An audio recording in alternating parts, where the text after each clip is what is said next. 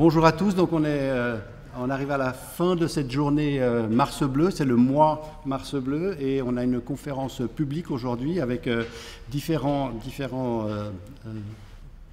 orateurs qui vont venir. Et il y a trois personnes qui font l'introduction. Ça peut paraître un peu bizarre. Ça, dénote peut-être l'importance du, cancer colorectal et de sa problématique, avec bien sûr le, monsieur le directeur général, le responsable du service de chirurgie viscérale, euh, puisque la grande majorité des patients sont opérés de leur cancer du côlon, puisqu'ils sont diagnostiqués à un stade précoce. Et puis, moi, je représente le Centre des cancers, qui est une structure qui est à cheval à travers les différents départements et qui permet de d'avoir une, prise en charge multidisciplinaire pour l'ensemble des patients euh, souffrant de ce type de cancer à Genève, pas seulement du cancer du côlon, mais il y a toute une série de tumor board, de consultations pluridisciplinaires qui regroupent tous les, toutes les expertises des, des, professionnels qui ont besoin euh, d'avoir une, une, vue en disant il y a un chirurgien, il y a un spécialiste d'organes, et typiquement pour un tumor board, euh, pour les tumeurs colorectales, il y aura euh, un gastro-entérologue, il y aura un chirurgien viscéral, il y aura un radiothérapeute, il y aura un pathologue, il y aura un médecin spécialiste de la médecine nucléaire, il y aura un, radio, un radiothérapeute, il y aura un spécialiste des images, et tous ces gens vont avoir une intelligence collective qui vont leur permettre de proposer euh, des meilleurs traitements pour les patients qui sont pris en charge au HUG, mais également pour les patients qui sont pris en charge à l'extérieur des HUG.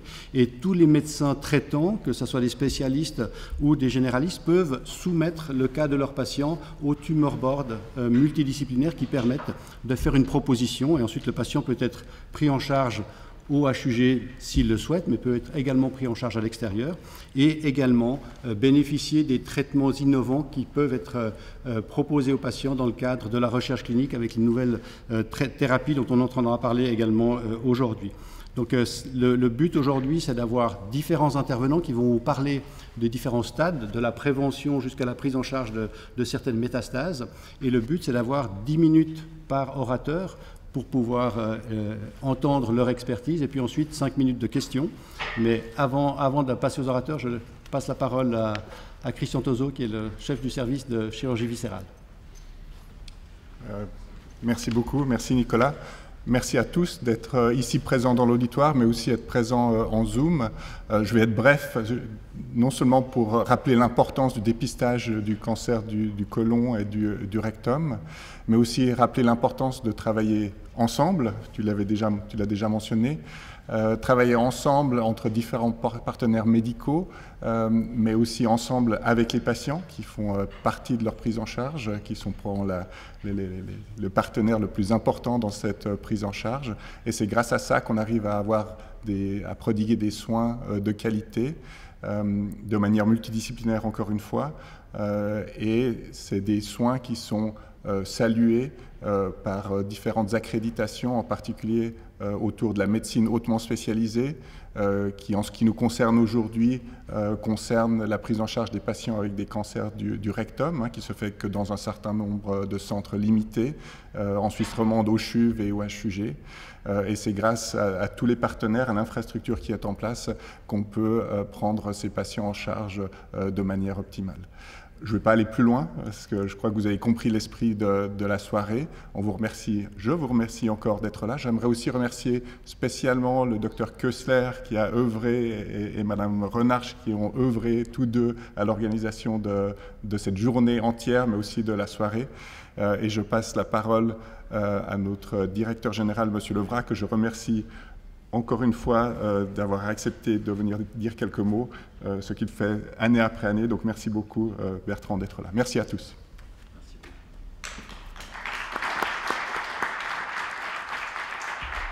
Mesdames, Messieurs, chers collègues, chers amis, une fois n'est pas coutume, j'aimerais vous raconter une histoire personnelle. Dans moins de 10 jours, dans 9 jours, je vais avoir 54 ans. Et puis j'ai un très bon, très très bon et proche ami qui, euh, ben, comme euh, une fois qu'on a 50 ans, on reçoit ces questions de dépistage, eh bien, il a fait un dépistage et malheureusement, ben, le dépistage s'est avéré euh, positif. Mais heureusement, nous sommes dans un canton, dans une capacité pluridisciplinaire, comme ça a été relevé, de prendre en charge la maladie. Et le fait d'avoir été dépisté, le fait d'avoir pu euh, avoir une opération rapidement sur euh, un cancer qui a évité de se développer, eh bien cet ami m'a raconté l'autre jour que tous les matins il écoute Joyeux anniversaire parce qu'il se dit tous les matins bah, c'est le premier jour de ma vie et j'ai envie de m'éclater euh, tous les jours, comme si c'était euh, mon anniversaire au quotidien. Et je crois que cette histoire, pourquoi je vous la raconte? Ben, Parce qu'elle illustre à la fois l'importance du dépistage, cet ami euh, qui m'est proche et puis qui a mon âge, et on se sent tous en bonne santé, hein, on est à peine quinquagénaire, ben, faire des dépistages réguliers permet de sauver des vies. Et puis d'autre part, ben, l'importance d'avoir une approche extraordinairement compétente dans les centres universitaires que nous avons la chance d'avoir, ça a été dit, que ce soit au CHUV, que ce soit au HUG, mais que ce soit aussi en ville, avec la capacité d'interagir avec nos centres multidisciplinaires, eh bien, permettent d'avoir une approche qui sauve des vies et permet une espérance de vie prolongée et, quelque chose qui est vraiment au service des patientes et des patients. Alors, permettez-moi, comme directeur général, d'abord de saluer toutes celles et tous ceux qui sont ici aujourd'hui sur l'importance qu'il y a des actions qui sont menées, que ce soit dans la société civile, avec nos partenaires de ville, mais aussi à l'hôpital. Et puis, moi, je pense que c'est nécessaire aujourd'hui de remercier toutes celles et tous ceux qui, que ce soit dans le centre des cancers, que ce soit en chirurgie, que ce soit en oncologie, que ce soit dans la prise en charge en soins palliatifs ou euh, dans ce qui est de la transplantation, je vois plein d'experts qui sont là aujourd'hui euh, avec nous. Eh bien, tous ces experts qui vont euh, s'entretenir aujourd'hui sont là au service de la communauté, au service des patientes et des patients. Puis nous avons cette chance au HUG d'avoir des équipes pluridisciplinaires, des gens qui se parlent au service des patientes et des patients et qui souhaitent faire en sorte qu'ensemble, eh nous soyons vraiment dans une approche pluridisciplinaire à même de venir donner une réponse lorsque la réponse est nécessaire. Alors aujourd'hui, ben, c'est l'occasion de sensibiliser sur euh, les progrès, parce que c'est aussi ça, un centre universitaire, c'est un centre qui a la capacité d'être à la pointe de la recherche, de proposer des traitements innovants et de faire en sorte qu'il y a des solutions à des problèmes que l'on peut détecter suffisamment tôt grâce au dépistage. Alors merci à toutes celles et tous ceux qui s'engagent au quotidien pour les patientes et pour les patients. Merci à leurs proches aussi, parce que c'est un, tout, l'entourage qui est souvent sollicité. Et puis ben, n'oubliez pas, l'importance du dépistage, c'est quelque chose qui est accessible, généralement euh, pour tous, et qui est indispensable, parce qu'il permet de ne pas sauver des vies des autres, mais permet de vous sauver votre vie à vous. Alors merci à toutes celles et tous ceux qui y contribuent, et excellente conférence ce soir. Merci beaucoup.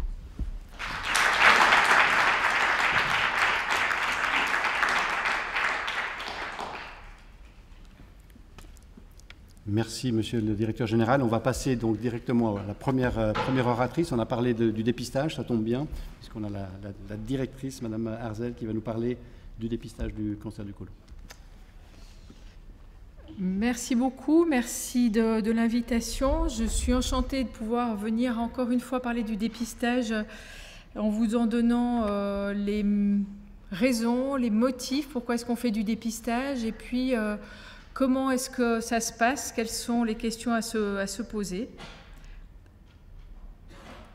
Voici. Donc la question c'est pourquoi et comment faire du dépistage du cancer colorectal?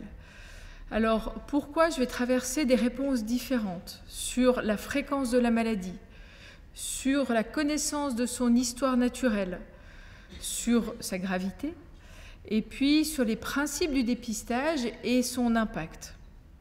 Alors quand on fait du dépistage, une des premières raisons, on ne dépiste pas n'importe quelle maladie, on ne dépiste pas n'importe quel cancer.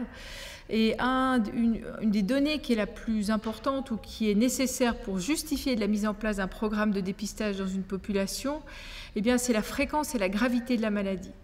Alors là, en Suisse, euh, point n'est besoin de dire que quand on regarde les chiffres, 4300 nouveaux cas chaque année, 1700 décès. Le cancer colorectal est une maladie fréquente et une maladie grave. Rappelons-nous qu'il concerne, c'est pas parce que c'est bleu que ça concerne que les messieurs, ça concerne les messieurs et les dames. Et puis, en fait, comme beaucoup de pathologies et de pathologies cancéreuses, la fréquence du cancer colorectal augmente avec l'âge. C'est la raison pour laquelle on ne dépiste pas euh, de façon systématique les personnes de 30 ans, 40 ans, la discussion autour de l'âge du début commence à, apparaître avec dans certains pays, aux États-Unis en particulier, une augmentation de la fréquence chez les gens jeunes. Ça arrivera peut-être chez nous. On discutera, mais pour l'instant, c'est à partir de 50 ans qu'on estime qu'un dépistage du cancer colorectal est juste et pertinent. Une autre manière de le dire, c'est en Suisse, quand on prend un groupe de 100 personnes, qu'on les regarde tout au long de leur vie, ou en tout cas jusqu'à 80 ans, quatre personnes seront concernées, seront touchées par un cancer colorectal. Parmi elles, si on ne fait pas de dépistage, eh deux personnes décéderont. Et quand on met en place un programme de dépistage, on diminue de moitié la mortalité. Pourquoi est-ce que, en fait, vous le verrez, on discutera tout à l'heure, on propose, quand on propose le dépistage, on propose deux modalités. Quand on propose euh, un dépistage par coloscopie, il y a des gens qui s'étonnent en disant mais pourquoi seulement tous les 10 ans? Ben, C'est parce qu'en fait, on connaît l'histoire naturelle de la maladie. Et entre le moment où apparaît, commence à apparaître ce petit polype et le moment où on arrive au stade où on a un cancer, eh bien il y a du temps. Il y a à peu près 10 ans, voire un petit peu plus qui se passe. Donc ça c'est bien, ça nous laisse le temps finalement euh, de, quand on dépiste et qu'on on trouve un polype ou qu'on l'enlève ou qu'on dépiste et qu'il n'y a pas de polype, d'être tranquille pendant un certain nombre d'années. Le dépistage est d'autant plus important qu'en fait, quand il y a un cancer, le cancer colorectal met beaucoup de temps à se manifester par des symptômes, douleur abdominale, saignement, perte de poids, alternance de diarrhée et de constipation, parce que vous imaginez bien qu'un cancer tout petit dans un tube, au départ, ça ne donne pas beaucoup de symptômes.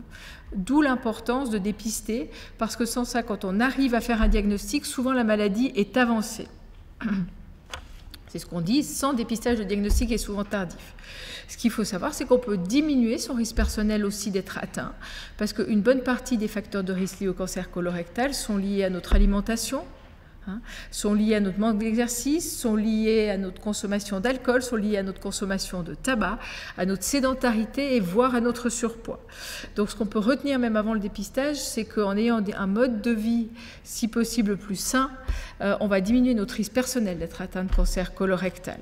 Sans oublier que pour certains, rentrent en ligne de compte des facteurs génétiques. Ces personnes-là ne sont pas concernées par le programme de dépistage. Généralement, pas seulement généralement, elles devraient être dépistées plus tôt et plus fréquemment. Donc ce qu'on sait, c'est que plus le diagnostic est précoce, meilleur est le pronostic. Et l'idée d'un programme de dépistage, c'est de dépister des légions précancéreuses et des cancers débutants. Donc en dépistant, on fait diminuer le nombre de cancers et on fait diminuer le, nombre de décès. Alors comment est-ce que je me fais dépister finalement, puisque maintenant on a traversé le pourquoi? Alors, si j'ai, alors il y a une petite erreur ici, c'est pas si j'ai entre 50 et 60 ans, si, si j'ai entre 50 et 69 ans que j'ai pas de facteurs de risque familiaux ou de maladies inflammatoires du côlon, comme une, une, maladie de Crohn ou certaines autres pathologies qui augmentent mon risque d'être atteint, si j'habite Genève, je vais recevoir une invitation à me faire dépister à partir de mes 50 ans. Ou si j'ai rien reçu, je peux en parler à mon médecin et à mon pharmacien. Deux manières de se faire dépister ou deux examens proposés, les deux sont bons. Le premier est un examen simple que je peux faire à la maison qui me coûtera personnellement, quand je fais dans le cadre du programme, moins de 5 francs, que je peux aller chercher directement en pharmacie, c'est une recherche de sang dans les selles.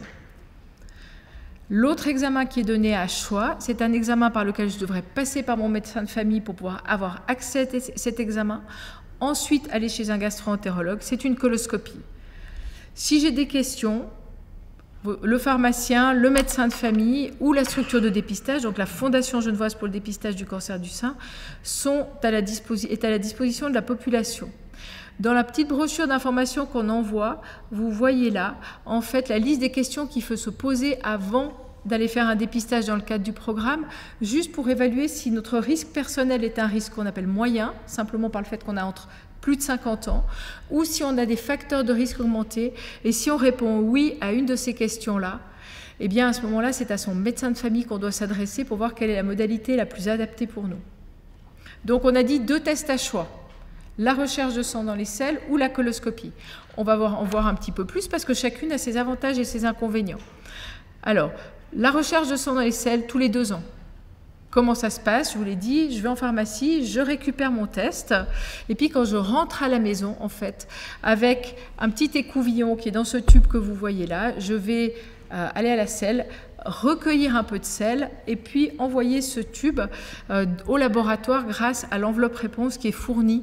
Quand je vais chercher en pharmacie, il y a tout. Il y a le petit tube, il y a l'enveloppe réponse, il y a la, petite enveloppe plastique. Quels sont ses avantages? Ben, Il n'y a pas de risque à faire ce test ça coûte pas cher, c'est facile, je le fais chez moi. Et si ce test est positif, eh bien je sais que j'ai un tout petit peu de sang les selles. Ça ne veut pas dire que j'ai un cancer, ça veut dire que à ce moment-là, il faut que j'aille faire une coloscopie pour savoir quelle est la raison de ce saignement. Dans les désavantages, ben, c'était quand même à refaire tous les deux ans. Ça doit être régulier. Hein. Et, puis, euh, il faut un peu de patience parce que quand je vois mon test au laboratoire, je vais devoir attendre quelques jours, huit jours pour avoir le résultat. Alors, qu'est-ce qu'on voit parmi les gens qui font cette recherche de sang dans les selles? Au milieu de 10 participants, de, pardon, de 1000 participants, ben, la majorité des gens, tout sera normal. Hein chez à peu près un peu moins de 200 personnes, on va trouver quelque chose et à ce moment-là, il va falloir faire une coloscopie. Et puis pour une petite partie, on va trouver un cancer et pour une, partie un peu plus importante, on va trouver des adénomes avancés ou une autre lésion qui signe. Et à ce moment-là, les adénomes, par exemple, c'est des lésions précancéreuses qu'on va pouvoir enlever et ça va permettre d'éviter un cancer. Je choisis la coloscopie. Alors, bah là, comme on l'a dit, au vu de l'évolution de la maladie, la coloscopie, qu'est-ce que c'est? C'est qu'on va mettre un tuyau, vous en entendrez parler plus euh, après, on met un tuyau dans l'intestin et ça va permettre de regarder l'ensemble euh, du gros intestin et du rectum pour voir s'il y a des lésions, des polypes, ces polypes particuliers qu'on appelle adénomes, qui sont ces polypes qui peuvent éventuellement se transformer en cancer, ou des cancers. Et en allant regarder, on va pouvoir le plus souvent, à moins que ce soit vraiment une grosse lésion, aller enlever cette lésion. D'accord? C'est l'objectif. On le fait que tous les 10 ans. J'ai envie de dire, ça suffit tous les 10 ans s'il n'y a rien de particulier. Donc quand on vient au dépistage, on fait sa coloscopie. S'il n'y a rien de spécial, on est réinvité après 10 ans. Et puis s'il y a une lésion qu'il faut suivre, à ce moment-là, on sort du programme et on sera suivi de manière plus régulière par coloscopie, tous les 3 ans, tous les 5 ans, en fonction de ce qui a été trouvé. Comment ça marche?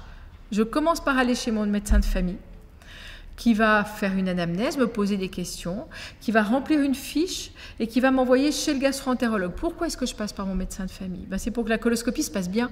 Parce que si, si je prends des médicaments, si j'ai des comorbidités, il est important que le gastroentérologue, quand il me reçoit, il soit au courant des problèmes de santé que j'ai et il adapte, en particulier pour l'anesthésie, euh, voilà, un protocole qui correspond à mon niveau de risque. Je vais devoir faire un petit régime, prendre des laxatifs avant d'aller faire ma coloscopie. Et puis ensuite, le jour où je vais chez le gastroentérologue, il faut que je prévoie de ne pas conduire dans les 12 heures qui suivent parce que je vais être endormie. Ce n'est pas une anesthésie comme quand on opère, mais on nous endort quand même. Euh, c'est comme si on faisait un gros dodo, on se réveille, on est en pleine forme, tout va bien et l'examen est fait. Ça dure entre 30 et 45 minutes. Alors l'examen, en fonction de si des lésions ou pas, il va me coûter si je le fais dans le cadre du programme et que je n'ai pas à payer ma franchise, entre 560 et 150, euh, entre 56 et 150 francs en fonction de ce qu'on trouve à ma coloscopie. Des avantages, bah, c'est fait que tous les 10 ans. S'il y a quelque chose, on peut l'enlever tout de suite. Le désavantage, on en a parlé avant, ça demande un peu plus de temps, c'est un peu plus cher. Euh, donc à ce moment-là, il faut que je m'organise. Et puis, il y a rarement, quand même, il y a parfois des complications sous forme de saignement ou de malaise. Au pire, une perforation, mais ça arrive vraiment très très rarement. Alors je parlais du prix parce que c'est important. Un programme de dépistage, c'est fait pour que ce soit accessible à tout le monde, raison pour laquelle à partir du moment où on a un programme de dépistage organisé, ce qui a été le, cas du canton de Genève qui a fait ce choix-là, eh bien les examens que je fais, ils sont hors franchise. Qu'est-ce que ça veut dire? Ça veut dire que quelle que soit ma franchise, eh bien l'examen m'est remboursé à 90%, même si je n'ai pas consommé ma franchise. Vous avez là l'ensemble des prix que je vous ai un petit peu cités, vraiment un test fit qui n'est pas cher du tout, mais qui doit être répété tous les deux ans. Il ne faut pas oublier que s'il est positif, je vais devoir faire une coloscopie qui est aussi prise en charge hors franchise. Et puis la coloscopie, en fonction de si c'est normal ou bien pas, ça va coûter entre 59 et puis 140, 150 francs éventuellement, puis à laquelle s'ajoute la consultation chez le médecin. Rappelons que le FIT, je peux aller en discuter avec mon médecin, mais je peux aussi l'obtenir directement en pharmacie, sans consultation, dans à peu près 90 pharmacies dans le canton de Genève qui apparaissent sur notre site internet. Voilà, je vais m'arrêter là. Je crois que j'ai consommé mes 10 minutes. Euh, toutes les informations peuvent être demandées à ce numéro de téléphone 022 708 10 90 ou alors vous pouvez passer à la Fondation Genevoise pour le dépistage du cancer qui se trouve en face de la maternité, ici sur le boulevard de la Cluse. Je suis dispo pour vos questions.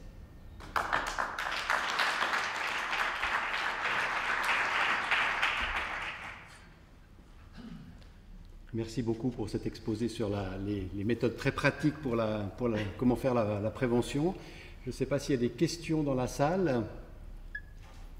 C'était très très très clair. Je ne sais pas s'il y a des questions sur le, sur le chat ou sur Facebook. On va nous dire ça. Oui, il y a une question. Alors tout tout en haut, deux questions. Là, il faut parler très fort. Vous êtes très loin. Pardon? Est-ce que les adénomes vont disparaître tout seuls? C'est ça la question. Eh bien, eh bien, a priori, non. Un adénome ne disparaît pas tout seul. Un adénome, à partir du moment... Pardon? Oui, pardon. Dans le micro, c'est mieux. Non, non, les lésions, une fois qu'elles sont là, malheureusement, elles évoluent très lentement. Euh, mais elles évoluent. Alors, pas tous les adénomes se transforment en cancer, mais en tout cas, euh, non, une a priori, vous me, direz le contraire si c'est le cas, mais je n'ai pas la notion que les adénomes ne disparaissent tout seuls. Il y en a certains qui, poussent très lentement, d'autres qui poussent vite, mais ils ne disparaissent pas tout seuls, c'est sûr. Ils ont besoin, s'ils saignent, eh bien, ça va être détecté lors du FIT.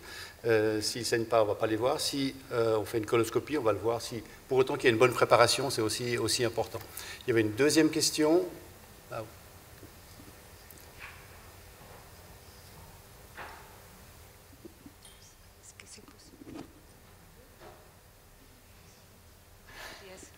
Thanks for the, the, the speech. I want to ask, is it possible that the blood is due to hemorrhoids?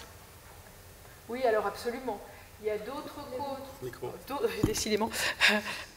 Oui, oui. Alors la question était, est-ce que le saignement peut être dû, par exemple, à des hémorroïdes? Oui, mais quand il y a un saignement, on ne sait pas à quoi il est dû. Donc, il est certain que s'il y a des hémorroïdes dont on voit le, lundi matin qu'elles saignent, ce n'est pas le bon moment pour faire une recherche de sang dans les selles parce qu'on sait qu'on saigne. Mais, comme on dit, un train peut en cacher un autre. C'est-à-dire que quand il y a un saignement, parce qu'il y a une hémorroïde, ça ne veut pas dire que ça ne saigne pas ailleurs. Donc, quand il y a des symptômes, comme je le disais tout à l'heure, ce n'est pas du dépistage. Quand il y a un saignement, il faut aller consulter son médecin. Et à ce moment-là, il y a des examens, et en l'occurrence, éventuellement une coloscopie qui va être prescrite pour voir si c'est juste les hémorroïdes qui saignent ou s'il y a autre chose qui se passe ailleurs. Merci. Est-ce qu'il y a d'autres euh, questions? Non, pas de questions sur le chat. Très bien. Merci, Merci beaucoup. Donc on va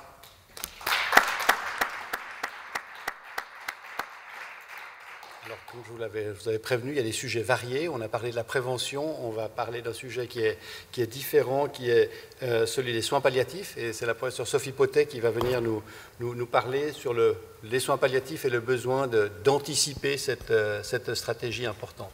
Sophie? Voilà, bonsoir. Je voudrais remercier beaucoup euh, Thibaut Kossler et les organisateurs pour l'invitation et aussi pour ne pas me mettre en dernier parce que souvent les soins palliatifs, on est au bout du programme et j'apprécie donc spécialement.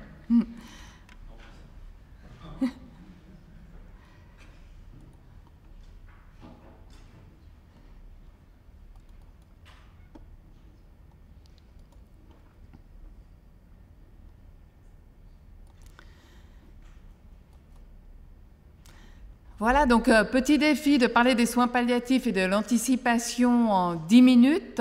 Dans ce cadre-là, j'ai choisi de vous montrer les deux premières minutes à peu près d'un film qui a été euh, soutenu euh, par la Fondation privée des HUG.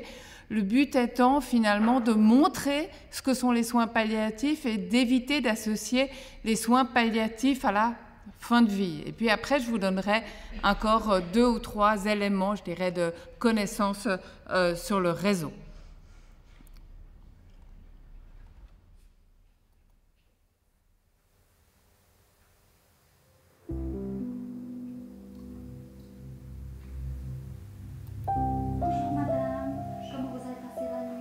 L'image des soins palliatifs est pour le plus grand nombre ces soins secondaires que la médecine apporte aux personnes en fin de fin de vie. Des soins qui en sont à peine pour des patients et patientes sans aucune perspective. Pourtant, la réalité des soins palliatifs et de support est tout autre. C'est le mouroir la tête des gens. Dans le grand public, le terme soins palliatifs fait peur parce qu'il est associé à la mort. C'était un mot qui était vraiment euh, un peu affreux pour moi. Et j'ai remarqué que c'était pas du tout ça. La plupart du temps, quand les patients arrivent, ils ont peur. Ils ont peur parce qu'ils arrivent en soins palliatifs, c'est écrit sur l'avant de la porte, donc il n'y a pas de confusion possible. Et puis beaucoup de patients sont étonnés justement du fait qu'on ne parle pas de la mort. J'arrive à beaucoup mieux bouger les bras et à employer les mains. Les soins palliatifs sont destinés à toutes les personnes, de tous âges, atteintes d'une affection incurable et évolutive. Ils sont là pour anticiper les symptômes et les complications de la maladie. Les soins palliatifs, c'est tout ce que nous pouvons mettre en place pour améliorer la qualité de vie de nos patients.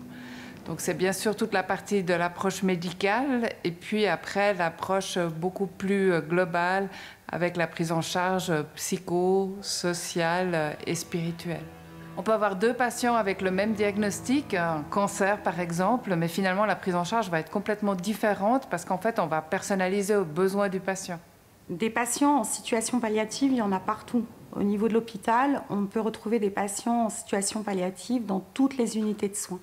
L'idée, c'est de pouvoir anticiper la prise en soin de ces patients et de leurs familles. Et pour nous, au niveau des soins palliatifs spécialisés, d'avoir une intervention rapide. Le plus tôt on en parle, euh, le plus vite l'idée sera peut-être acceptée. Les soins palliatifs, c'est évidemment des consultations au sein de l'hôpital, mais c'est également un réseau ambulatoire, des choses qui peuvent être faites à la maison, euh, de nouveau dans une optique de rendre les gens aussi bien, aussi longtemps que possible.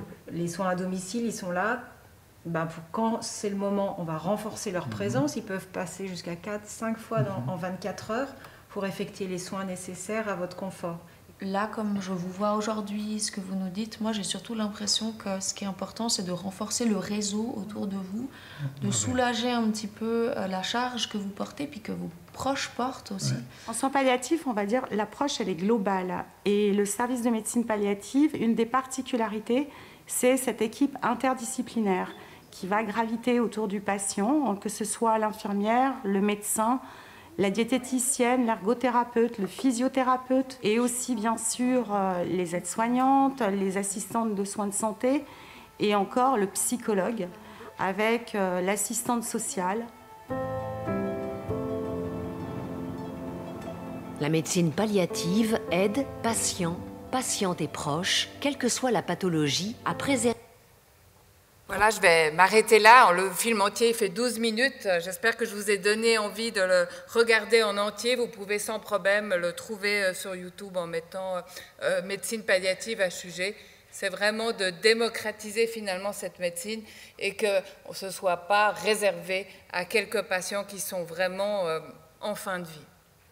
Quelques mots pour vous expliquer finalement ce que c'est les soins palliatifs, c'est des soins spécialisés avec du professionnel formé qui travaille. Il faut juste que je retrouve ma souris. J'ai un peu perdu.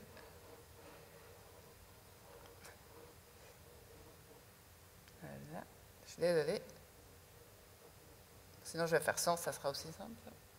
Pourtant, elle est bien là, mais on va faire 100, qui sont, travaillent dans les unités de lit. Et puis on a 36 lits de soins palliatifs que vous voyez là, vue d'avion à Collonges-Bellerive, et 8 lits euh, à la clinique de Gelimont.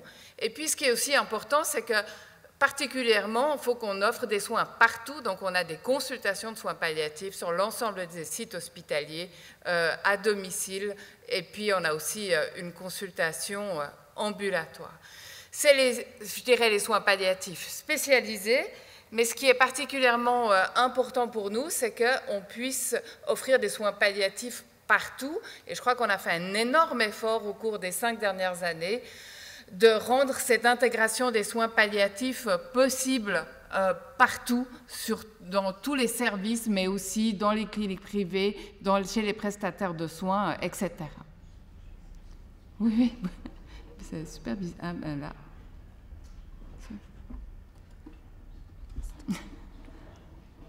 C'est une étrange histoire. Attends, attends. Ouais, mais sinon on va faire. Ah voilà, c'est bon, super, merci.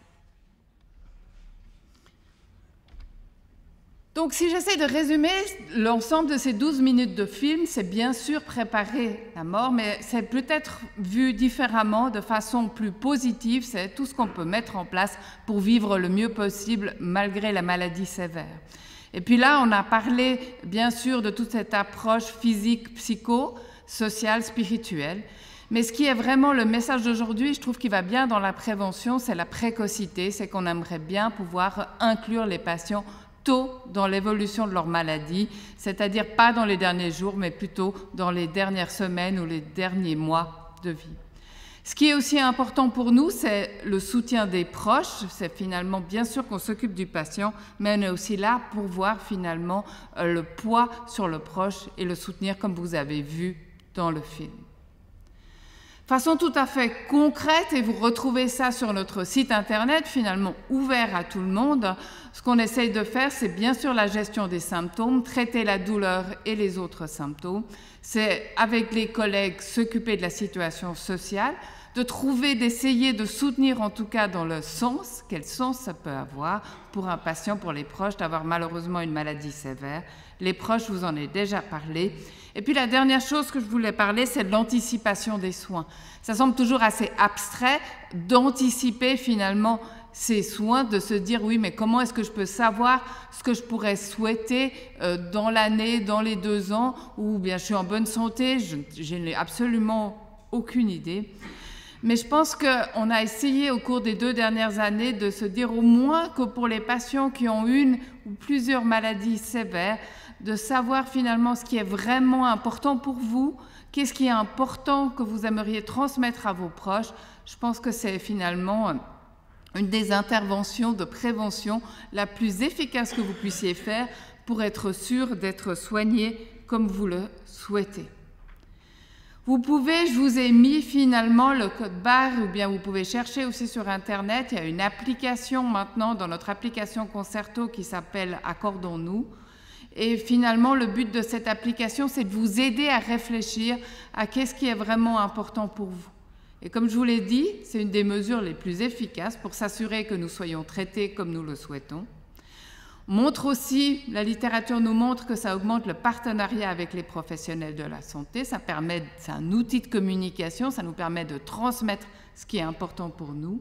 Ça diminue le poids, la pénibilité, comme on retrouve en français, sur les proches qui doivent prendre quelquefois des décisions difficiles pour nous, alors que ça n'a pas toujours été discuté, qu'ils ne savent pas ce qui est le plus important pour nous.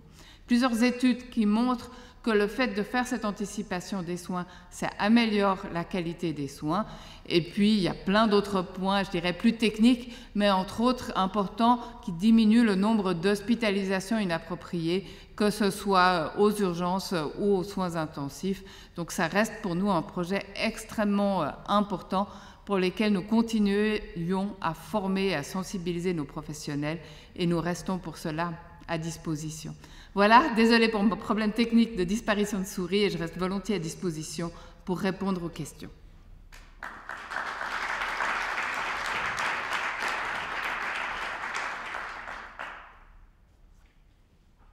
Merci beaucoup, Sophie. Euh, est-ce qu'il y a des questions dans la salle ou en Zoom? Euh, Moi, j'ai peut-être une, question pour, euh, pour commencer. C'est enfin, il y a voilà, des, gens qui sont là. Mm. Euh, enfin, Est-ce que, en tant que patient, euh, je peux m'adresser directement à vous?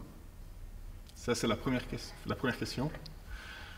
Alors, euh, on a une consultation ambulatoire ou une consultation à domicile où on a régulièrement des téléphones de patients et de proches. Et je dirais, pour répondre à ta question, oui. Après, comme, comme ça a été discuté euh, tout à l'heure, je pense que le lien avec les médecins généralistes est particulièrement important parce que, euh, et, que ou bien les oncologues ou bien d'autres personnes qui, qui vous connaissent bien, euh, parce que nous, on ne va pas faire des propositions, des prescriptions si on n'a pas tout le réseau dans la, dans la barque. Donc oui, on répond volontiers en tout cas, la consultation à domicile reçoit beaucoup de téléphones de, personnes extérieures, hein, euh, mais je pense que c'est mieux de, passer par son médecin généraliste. Et puis je peux me permettre une deuxième question, parce qu'il y a certains patients qui ne voudront pas s'adresser à vous, parce qu'ils auront peur des soins palliatifs, mais par contre, il peut y avoir la famille en souffrance. Donc est-ce que vous recevez la famille aussi de gens qui sont dans des situations de fin de vie? Alors, euh, on n'a pas, je dirais, la, valorisation de, cette partie-là, mais bien sûr qu'on va en tout cas essayer de, les adresser. Je pense qu'il y a beaucoup d'associations aussi euh, à Genève qui prennent en charge euh, les, proches ou qui soutiennent les proches euh, par rapport à quelqu'un qui a une maladie grave. Donc on essaye, dans la mesure du possible, de les adresser aux, associations à ce qui leur correspond le mieux. Nicolas Mac avait une question? J'ai une question, mais entre-temps, il y a une question qui vient du, du chat qui est est-ce que la chimiothérapie palliative est un accompagnement pour une fin de vie? Alors je pense que tout dépend de la définition de la chimiothérapie palliative, mais je pense que je répondrais plutôt oui, et tout dépend aussi de la définition de la fin de vie. Je pense qu'on a fait un énorme travail au cours des dernières années de travailler de façon conjointe, ensemble, et d'éviter ces ruptures, euh, euh, disant ben, on fait tout, entre guillemets, chimiothérapie, autres traitements, et tout d'un coup on fait plus rien, on vous adresse aux soins palliatifs. Je pense qu'on essaye vraiment maintenant de travailler conjointement pour qu'il y ait plus euh, cette, cette rupture, et ceci signifie deux sens qu'il peut y avoir quelquefois des chimiothérapies relativement longues, du moment qu'elles améliorent les symptômes et la qualité de vie des patients. Et inversement, quelquefois, on commence les soins palliatifs plutôt euh, extrêmement tôt. Donc je pense que vraiment, tant que ça améliore la qualité de vie, je dirais oui. S'il y a d'autres questions dans la salle? Moi, j'en avais une qui était un petit peu en prolongement de celle du, du Zoom, c'est-à-dire, c'est vrai qu'avec les nouveaux traitements, et en particulier les immunothérapies, on a des traitements qui sont un peu moins toxiques, qu'on donne à des patients qui ont une maladie métastatique, a priori incurable, mais euh, il y a un peu une dichotomie, on dit voilà c'est incurable, mais euh, on peut prolonger, améliorer la qualité de vie des patients, et donc ces patients-là peuvent aussi en parallèle avoir une prise en charge avec l'équipe de soins palliatifs, et je pense que c'est important de ne pas opposer l'un et l'autre. Je pense vraiment, j'espère que ce que je vous ai montré par rapport à la prise en charge des symptômes, au soutien euh, des proches, et puis la partie de l'anticipation, je pense que ce n'est pas la question d'avoir une immunothérapie ou pas. Je pense que c'est vraiment la question de réfléchir à qu'est-ce qui est vraiment important pour nous et qu'est-ce qu'on aimerait transmettre à nos proches si, malheureusement, ce qu'on souhaite bien sûr pas, euh, on n'a plus la capacité de communiquer. Merci beaucoup. Merci.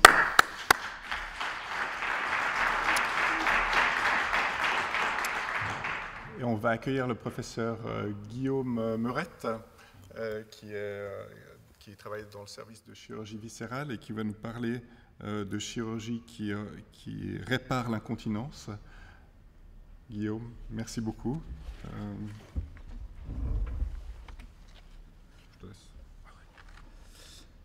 Merci beaucoup, Christian. bonjour à tous. Bonjour à tous, un grand merci euh, bah, au comité d'organisation d'avoir sollicité les équipes chirurgicales pour parler euh, du cancer colorectal. Et c'est vrai que la chirurgie occupe encore euh, une place importante dans la prise en charge du cancer colorectal. Mais surtout, je voudrais vous remercier de nous avoir sollicité pour parler d'autre chose que d'anatomie. C'est vrai que souvent les chirurgiens, on les cantonne à des ouvriers spécialisés qui aiment mettre les mains dans le ventre et qui ne sont concernés que par l'anatomie. Et, et par le patient endormi, ouvert avec les mains à l'intérieur. Alors, c'est une image un peu d'épinal. Bon, on aime bien quand même. Il ne faut pas non plus complètement euh, inhiber cette partie de notre activité qui nous passionne beaucoup. Mais, mais depuis euh, une vingtaine d'années, la chirurgie a aussi beaucoup évolué. Elle reste très orientée autour des nouvelles technologies, l'innovation pour améliorer le geste technique, mais elle se tourne aussi vers la fonction. Et c'est une grande victoire, parce que ça veut dire que la chirurgie d'amputation est un succès, puisqu'on guérit les patients, et le cancer colorectal est, quand même un modèle expérimental de progrès euh, avec une amélioration très significative de la survie des patients et le taux de guérison. Et la chirurgie en a une large part de responsabilité dans ce succès. Mais si les patients survivent, ils survivent aussi avec les séquelles de la chirurgie. Donc il faut penser à améliorer aussi la fonction. Et donc depuis une vingtaine d'années, je dirais, euh, avec l'an 2000 et le bug de l'an 2000, les, chirurgiens ont muté pour la plupart et se sont progressivement intéressés de plus en plus à la fonction. Et c'est ce que je vais essayer de vous montrer aujourd'hui. Alors, appliqué au cancer colorectal, on va se focaliser sur une fonction qui est la continence anale. Et Dieu sait que quand on parle de cancer colorectal, on a toujours le spectre de cette continuité digestive, de l'astomie qui pèse psychologiquement sur le patient, souvent sans l'avouer d'ailleurs. Il garde ça au fond de lui, il n'ose pas poser la question est-ce qu'on va pouvoir garder la continuité et comment sera la fonction après? Donc c'est intéressant de voir qu'on s'y est intéressé. Alors, avant de commencer avec une définition qui est une définition purement subjective, c'est vrai que si je vous pose la question de savoir ce qu'est l'incontinence anale, probablement la majorité des personnes en face dans l'auditoire vont me répondre c'est des fuites anales. Pas tout à fait faux, mais c'est une vision un petit peu restrictive de l'incontinence, car en fait l'incontinence, si on essaie de réfléchir un peu, c'est l'inverse de la continence. Alors maintenant, je pose la question, qu'est-ce que la continence anale? Ben, Ce n'est pas si facile de définir la continence. Bon, c'est savoir retenir ses selles. Mais ce n'est pas que ça. La continence anale, on a dérivé la définition de la continence urinaire, parce qu'elles sont assez proches, c'est l'action d'évacuer le rectum de façon complète, consciente, indolore et différable à un endroit et à un moment qui sont socialement adaptés. Ça vous convient comme définition? C'est un petit peu plus compliqué que retenir ses selles. Mais c'est important de prendre tout en considération parce que si on pense que l'incontinence, c'est la non-continence, alors à partir du moment où on n'est plus capable d'évacuer le rectum de façon complète et ou consciente, indolore et différable à un endroit socialement adapté, eh ben, c'est qu'on est incontinent. Et il y a des idées qui émergent aujourd'hui sur, sur le fait de définir l'incontinence de façon un petit peu plus large que simplement le fait d'avoir des fuites, car si une personne entre vous ne peut suivre l'heure et demie de conférence ici sans devoir se précipiter aux toilettes, c'est qu'elle est probablement incontinente, même s'il n'y a pas de fuite. Le fait de pouvoir courir jusqu'aux toilettes si on est alerte, mais c'est déjà un signe d'incontinence. Et donc ça, c'est intéressant de savoir que finalement, quand on regarde les statistiques, l'incontinence anale dans la population générale, on dit c'est rare. On dit c'est à peu près 1 à 2% de la population qui a mensuellement une petite fuite de gaz.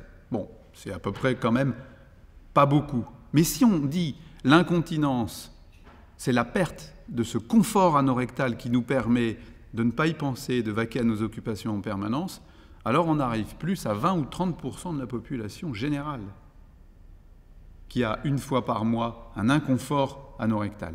Donc, évidemment, on s'adresse plus à la même proportion de la population. Alors, en ce qui concerne le cancer colorectal, il faut dire que le côlon ne sert pas à grand-chose.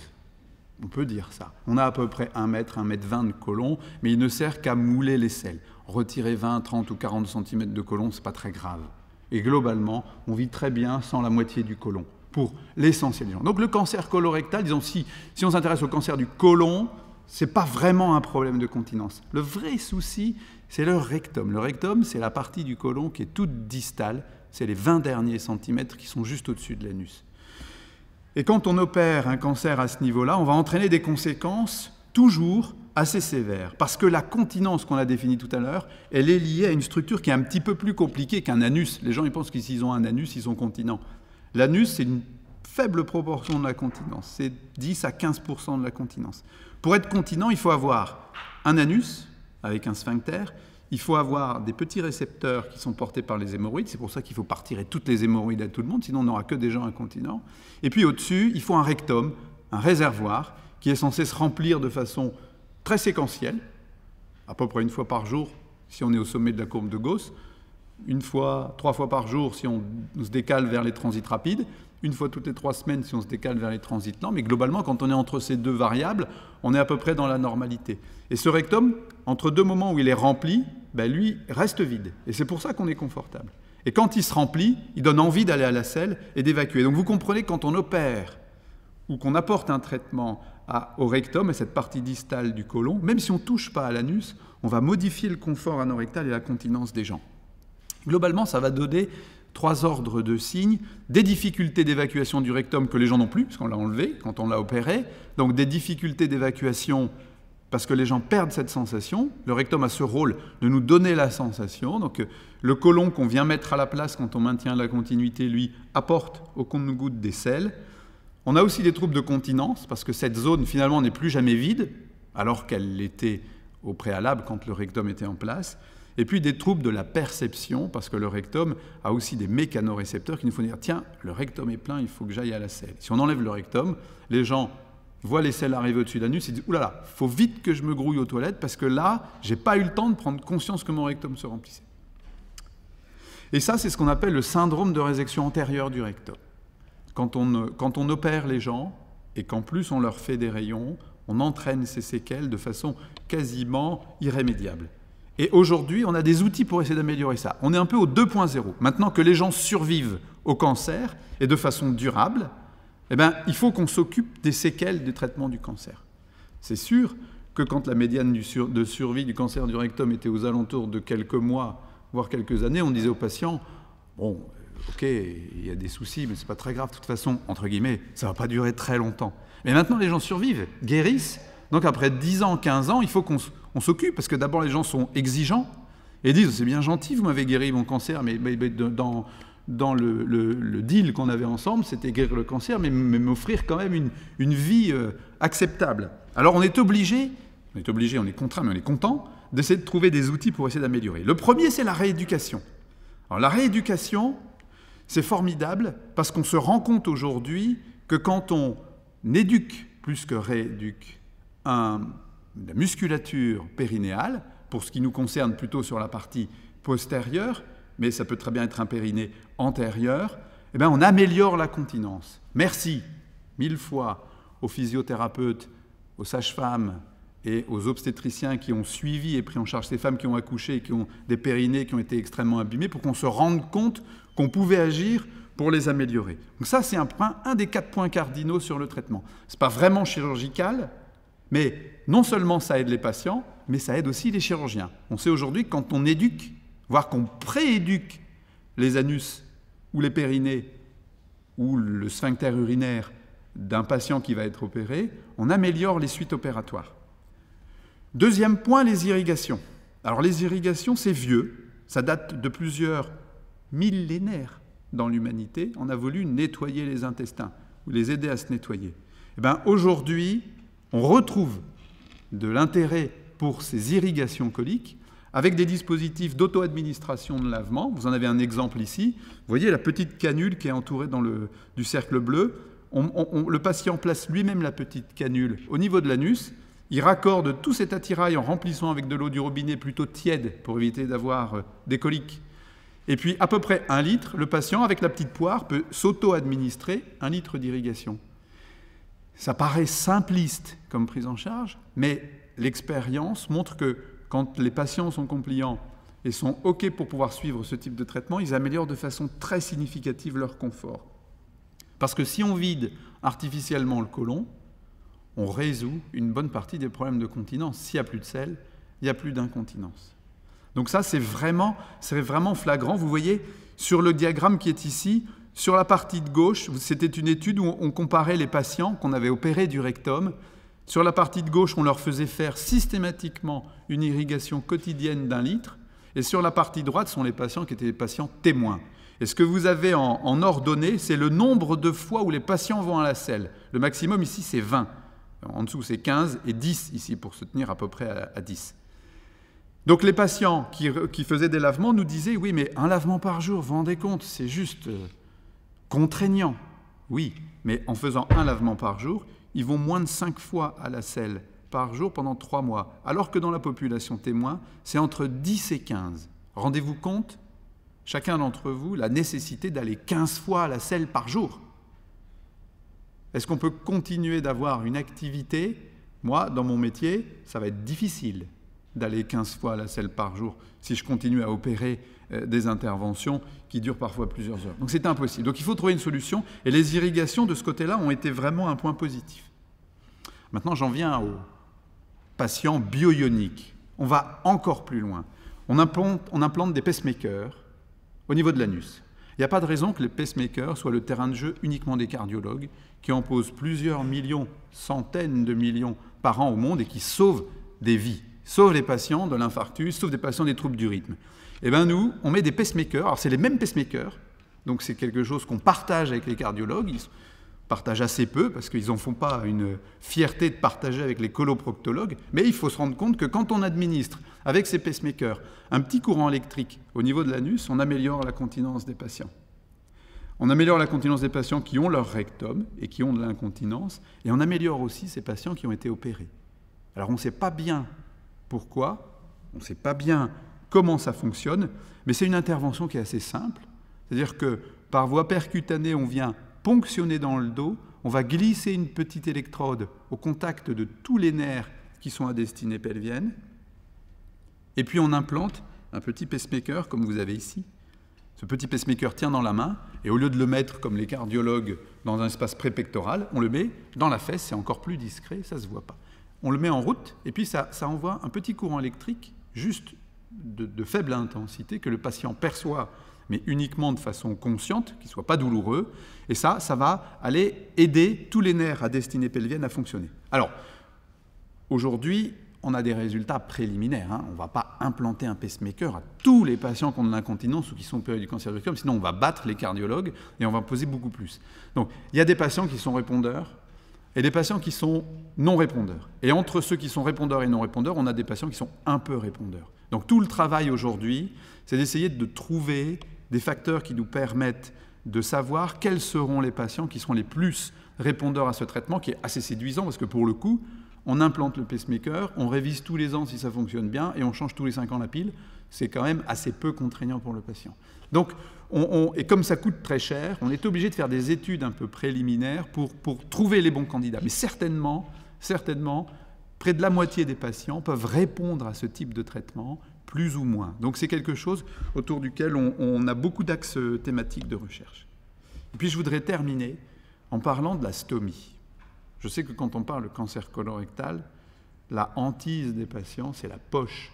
C'est la poche à vie. Pourquoi? Pourquoi la poche a cette image aussi négative Probablement que dans des temps reculés, mais qui hantent encore notre imaginaire collectif, la poche était synonyme de fin de vie. Je vais rejoindre la présentation précédente et on avait cette image d'épinal du patient en fin de vie à qui on faisait une poche.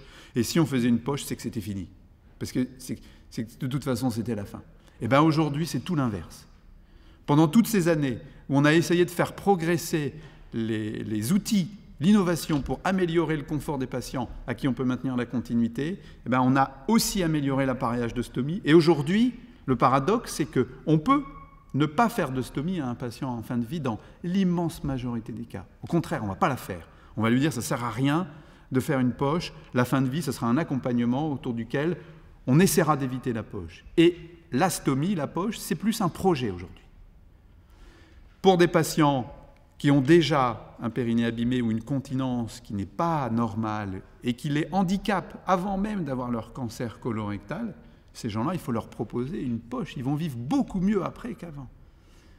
Et puis les patients pour qui le cheminement fait qu'on n'a pas réussi à leur rendre un bon confort, on a aujourd'hui des appareillages qui permettent aux patients de prendre l'avion. Oui, oui, on prend l'avion avec une poche. Certains se posent parfois la question. On peut sauter en parachute. On peut faire de la plongée sous-marine jusqu'à 150 mètres sous l'eau si on, veut, si on en a les capacités, avec une poche de stomie. Donc aujourd'hui, on a des appareillages qui sont assez fantastiques. On, s'achemine même vers l'absence d'appareillage, juste un, socle qui, maintient uniquement fermé la stomie et des irrigations de temps en temps avec les mêmes dispositifs qu'on vous a montrés précédemment. Donc il y a aussi une vie pour, pour l'astomie chez les patients chez qui on n'a pas pu euh, maintenir la continuité. Voilà, je, vais m'arrêter là. Je voulais juste conclure avec deux phrases. La première, c'est qu'il faut, il faut considérer que quand même, si des chirurgiens et, des équipes médicales s'intéressent à la continence en post-opératoire, c'est quand même le plus beau témoignage que dans le domaine du cancer colorectal, l'oncologie a fait des progrès colossaux. Parce qu'autrefois, on ne se posait pas la question. On voulait tout juste guérir les patients. Et le chirurgien, cette image d'épinal, qui va amputer le patient d'une partie mauvaise de son organisme, on s'arrêtait là. Maintenant, non seulement on enlève, de moins en moins, mais on essaie de réparer derrière. Et mon deuxième message, c'est qu'il existe des outils pour améliorer le quotidien du patient, donc il faut en parler. Il ne faut pas hésiter à répondre à votre médecin ou à votre chirurgien qui dit écoutez, quand même, on vous a guéri du cancer, vous devez pas nous casser les pieds avec votre incontinence anale. Il faut passer un petit peu de là et dire bah oui, mais moi j'ai entendu qu'il y avait des outils qu'on pouvait quand même. Donc soyez, soyons exigeants et demandons un petit peu plus en termes de qualité de vie. Merci.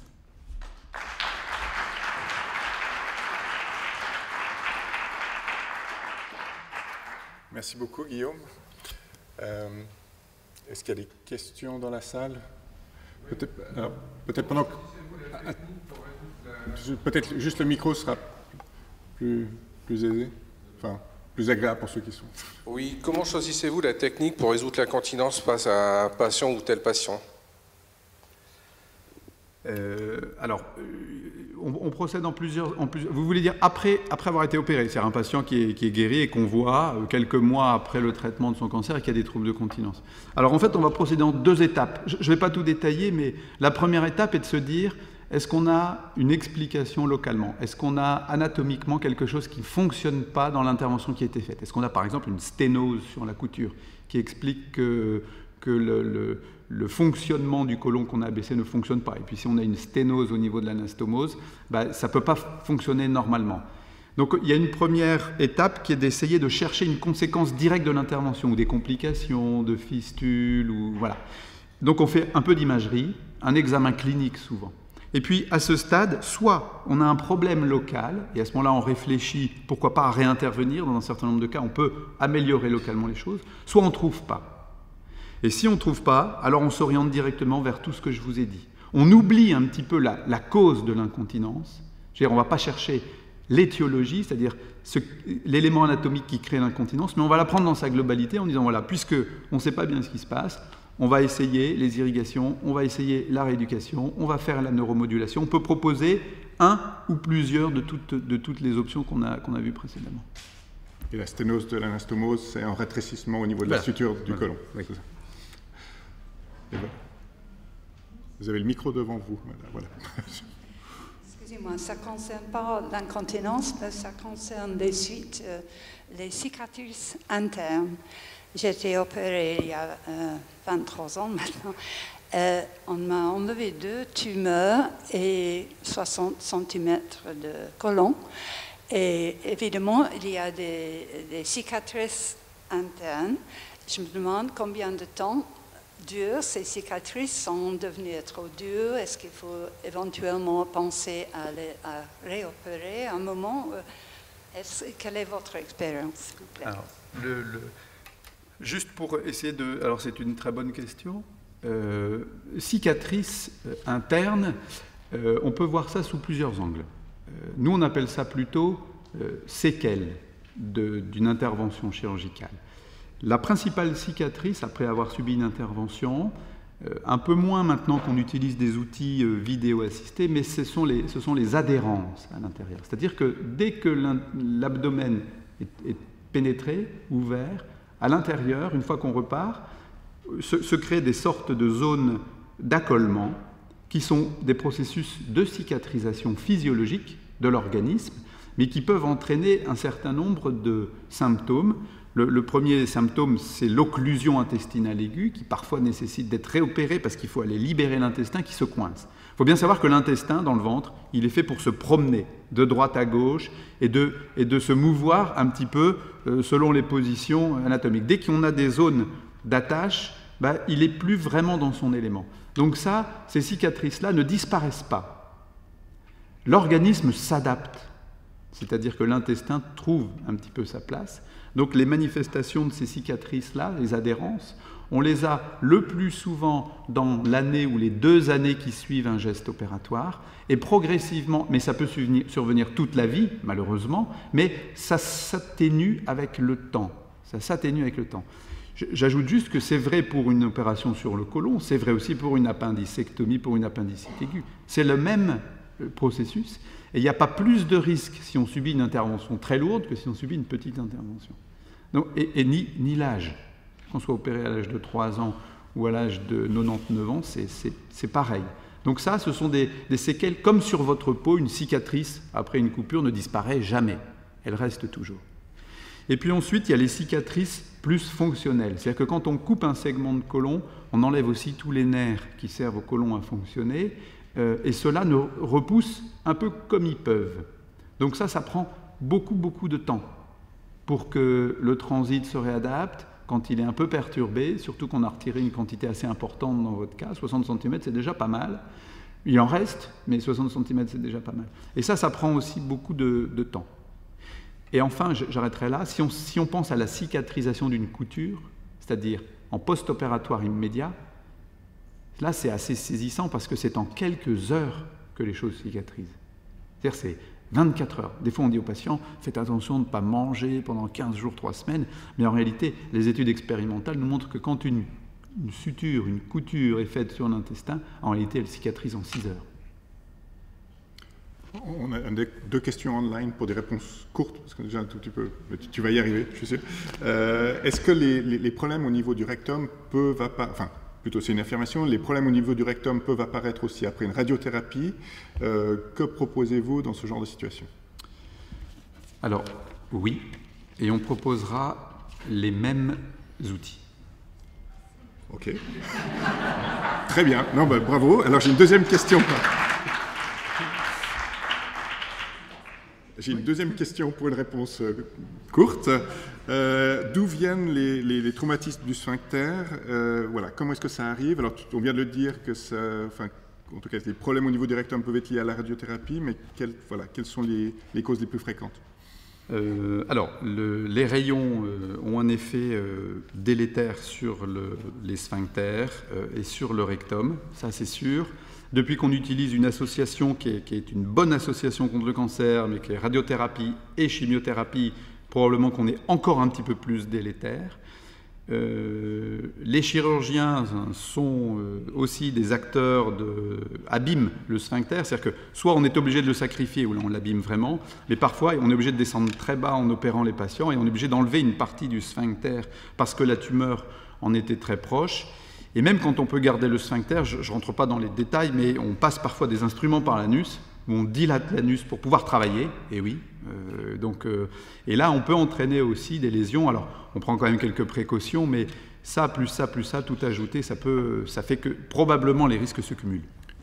Les problèmes obstétricaux? Ah oui, alors... Ça va peut-être un autre chapitre, mais... Oui, alors... Euh, un mot. Alors ça, c'est surtout pour les femmes. L'accouchement et la grossesse sont des deux éléments indépendants qui pèsent sur le périnée, qui abîment le périnée et qui, ont des conséquences sur la continence anale comme sur la continence urinaire. Les deux. C'est pour ça que le travail de rééducation et de physiothérapie est absolument primordial et on en a conscience aujourd'hui. Mais euh, le, le, nombre de grossesses et le nombre d'accouchements, qui plus est un accouchement parfois traumatique avec l'utilisation d'instruments ou de nécessité de faire des épisiotomies, euh, sont des facteurs de risque. Mais euh, on pourrait dire, bah, il n'y a qu'à faire des césariennes à toutes les femmes pour pas abîmer l'anus, mais ce n'est pas une bonne remarque parce qu'on ne sait pas quelle est la proportion de l'accouchement ou de la grossesse elle-même sur cet impact sur la continence. Donc ce n'est pas un bon conseil. Aujourd'hui, on aurait plutôt tendance à dire que c'est même un mauvais conseil, que ce n'est pas tellement l'accouchement qui péjore la continence, que c'est probablement plus la grossesse, les grossesses. Merci beaucoup, Guillaume. Merci.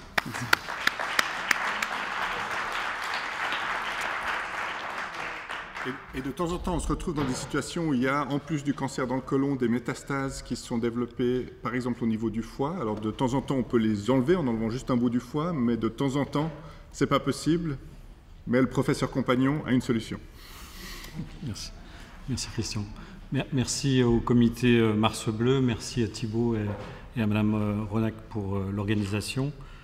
Alors moi je vais vous parler donc de la chirurgie des métastases hépatiques.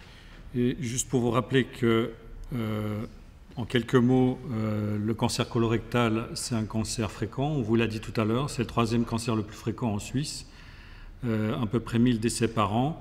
Et parmi ces patients qui développent un, cancer du côlon, plus près de la moitié vont développer des métastases hépatiques au cours de l'évolution de leur maladie.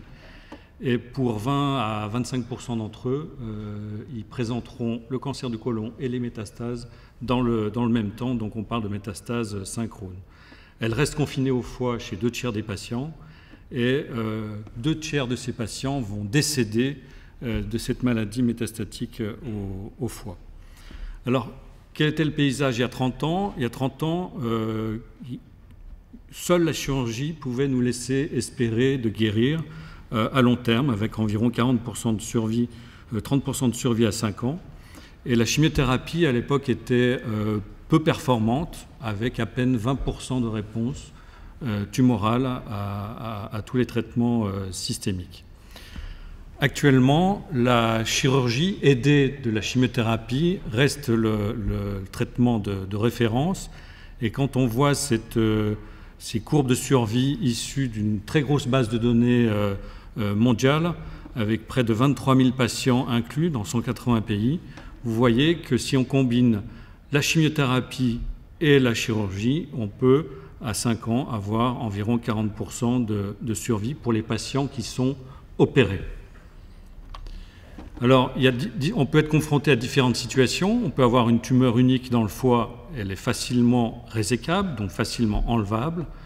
On peut avoir des situations un peu plus complexes avec plusieurs lésions ou alors des grosses lésions à l'intérieur du foie. Et, cette fois-ci, aidé de la chimiothérapie, on va pouvoir enlever l'ensemble de ces lésions, mais au prix d'une résection, d'une stratégie chirurgicale beaucoup plus complexe. Malheureusement, seulement 10 à 20 des patients peuvent euh, euh, aller être menés jusqu'à la chirurgie. Et puis on a des situations où les patients sont non résécables, voire jamais résécables, quand il y a des métastases multiples également à l'étage pulmonaire ou au niveau euh, osseux. Alors en fait, la, la, difficulté de la résection pour ces métastases dépend de la quantité et de la qualité du foie qu'on va laisser en place après la résection de ces métastases, de l'envahissement des vaisseaux comme des ganglions, de l'expertise de l'équipe de chirurgie hépatobiliaire et euh, de l'extirpabilité éventuellement d'autres localisations euh, métastatiques. Alors vous voyez que euh, avant le traitement curatif, on pouvait l'espérer, le traitement curatif pouvait être espéré chez 15 à 20% des patients et grâce au progrès de la chimiothérapie, on est passé de 20% à 70, 80% de réponses histologique de réponse tumorale grâce aux nouvelles thérapies, en particulier aux biothérapies. Et ça, c'est euh, aussi grâce au progrès de la chirurgie. On a de plus en plus de malades chez qui on peut enlever euh, l'entièreté du tissu euh, tumoral grâce à des techniques, des stratégies beaucoup plus élaborées qu'auparavant et à des stratégies également de, résection en deux temps. Grâce à cela, maintenant, on peut avoir 40 à 60% de survie globale et 10 euh, à 30% de survie sans récidive de la euh, maladie. Et toutes ces décisions de, chimiothérapie, de chirurgie sont prises au sein, bien sûr, d'une concertation pluridisciplinaire entre tous les euh, spécialistes. Le principe de base de la chirurgie des métastases, c'est d'enlever tout le tissu tumoral, donc d'avoir une résection qu'on appelle R0, et voilà ce qu'on peut espérer à 5 ans comme survie. Et si on laisse euh, au niveau microscopique du tissu tumoral, eh bien cette survie à 5 ans va chuter entre 0 et 20% À quelle distance de la tumeur il faut passer? Jusqu'à dans les années 90, on pensait qu'il fallait au moins avoir un centimètre de marge par rapport à la tumeur pour avoir une, une, chance de, survivre au long cours. Maintenant, on sait que grâce à, la performance de la chimiothérapie, euh, il suffit d'avoir au minimum 1 mm de marge par rapport à la berge tumorale pour avoir une survie euh, au long cours. Et par contre, il faut éviter à tout prix d'avoir une, marge positive, c'est-à-dire de passer immédiatement au contact de la, de la tumeur. Alors, parfois, on a des situations plus complexes que celles que vous venez de voir sur la diapositive précédente et on, peut avoir plusieurs métastases à l'intérieur du foie. Et là, il va falloir envisager une chirurgie en deux temps. D'abord, on va nettoyer la partie du foie où il y a le moins de métastases. En général, c'est à gauche. On va ligaturer la branche qui nourrit le foie droit qui est le plus chargé en métastases. Et puis, une fois que le foie gauche euh, se sera hypertrophié grâce à la ligature de cette veine du côté droit, ça induit une hypertrophie du futur foie restant, on va pouvoir enlever le foie droit avec toutes les métastases qu'il euh, contient. Malheureusement, malgré tous ces progrès de la chimiothérapie et de la chirurgie, il y a des situations où euh, aucun segment hépatique, dans le foie il y a huit segments, le foie est séparé en huit segments, huit sous-unités, et parfois aucun segment hépatique n'est épargné par les métastases. Et dans ce cas-là, la seule solution d'enlever toutes ces métastases, c'est d'enlever tout le foie. Mais ça, c'est possible seulement à la condition si on peut proposer aux patients une euh, transplantation hépatique. Alors, dans les, années 90, il y a eu euh, pas mal de tentatives de transplantation pour des patients avec des métastases de cancer colorectaux, et vous voyez qu'à 5 ans, on avait à peine 20% de survie, donc c'était un chiffre qui n'était pas acceptable, et donc pendant euh, plusieurs années, la transplantation hépatique a été considérée comme une contre-indication absolue à, les métastases hépatiques ont été considérées comme une contre-indication absolue à la transplantation. Alors qu'est-ce qui a changé? Alors actuellement, on connaît beaucoup mieux la biologie tumorale, avec toutes les mutations au sein des tumeurs qu'on a pu identifier. On a beaucoup progressé en imagerie. En plus du scanner et de l'IRM, maintenant, on a des tomographies par émission de positrons. Vous avez peut-être entendu parler de PET scanner. On a une chimiothérapie plus, performante avec de l'immunothérapie associée euh, au traitement systémique. Et puis, on a aussi une prise en charge périopératoire de la transplantation hépatique qui s'est grandement améliorée au cours des années, avec une immunosuppression beaucoup plus adaptée, beaucoup plus à la carte. Alors, le, grand changement, la grande nouveauté, ça a été euh, cette équipe euh, scandinave à Oslo qui, en 2006, a lancé cette étude avec 21 patients qui ont été transplantés et vous voyez qu'à 5 ans, après transplantation, euh, cette équipe a pu montrer une survie euh, globale à 5 ans de 60%. Donc beaucoup mieux que ce que fait euh, la résection hépatique aidée de la chimiothérapie. Et puis, cette, même équipe a pu identifier des facteurs péjoratifs qui altéraient les résultats en termes de survie. Quand l'une des métastases était de taille trop importante, quand le marqueur qu'on dose dans le sang, le marqueur ACE qui est sécrété par la tumeur, était à des taux trop élevés, quand le délai entre la résection de la tumeur primitive et la transplantation était trop court, dans ce cas-là, on n'avait pas d'idée de l'agressivité tumorale euh, de, la maladie, ou alors quand le patient progressait sous chimiothérapie, eh bien, on se rendait compte que les résultats de la transplantation étaient nettement euh, moins bons. Enfin, cette équipe s'est rendue compte de cette, euh, a fait ce constat. Un bémol, c'est après transplantation, c'est la récidive. Deux ans après leur première publication, cette équipe scandinave a montré que très peu de patients survivaient sans récidive et vous voyez qu'à un an, aucun patient euh, n'avait survécu sans récidive. Donc il y avait une récidive de 100% à un an dans ce travail complémentaire. Et puis, euh, ce travail que Christian Tozo avait, euh, dirigé euh, au sein d'une étude multicentrique européenne sur une petite série de 12 patients a montré quand même qu'il était possible, après transplantation, d'avoir une survie sans récidive. Et vous voyez que dans ce travail où les patients avaient été ultra sélectionnés, on approchait les 40% de survie à 5 ans sans récidive de la maladie. Donc un espoir se faisait jour. L'équipe euh, d'Oslo a ensuite lancé une deuxième étude où ils ont été encore plus restrictifs sur les critères de sélection des, patients qui voulaient mener à la transplantation. Et au prix d'une imagerie très poussée pour détecter éventuellement des métastases extra-hépatiques, euh, au prix d'une réponse euh, à la chimiothérapie d'un minimum de 10%, et d'un intervalle entre le diagnostic de la maladie et la transplantation supérieur à un an, ils ont pu montrer également qu'on pouvait avoir près de 40% de survie sans récidive à 5 ans. Et vous voyez ce chiffre euh, incroyable, 80 83% de survie globale à 5 ans. Alors, ensuite, que ce soit l'équipe d'Oslo ou une équipe euh, nord-américaine, ont euh, poursuivi leur, travail pour essayer, d'identifier des facteurs péjoratifs qui altéraient les résultats.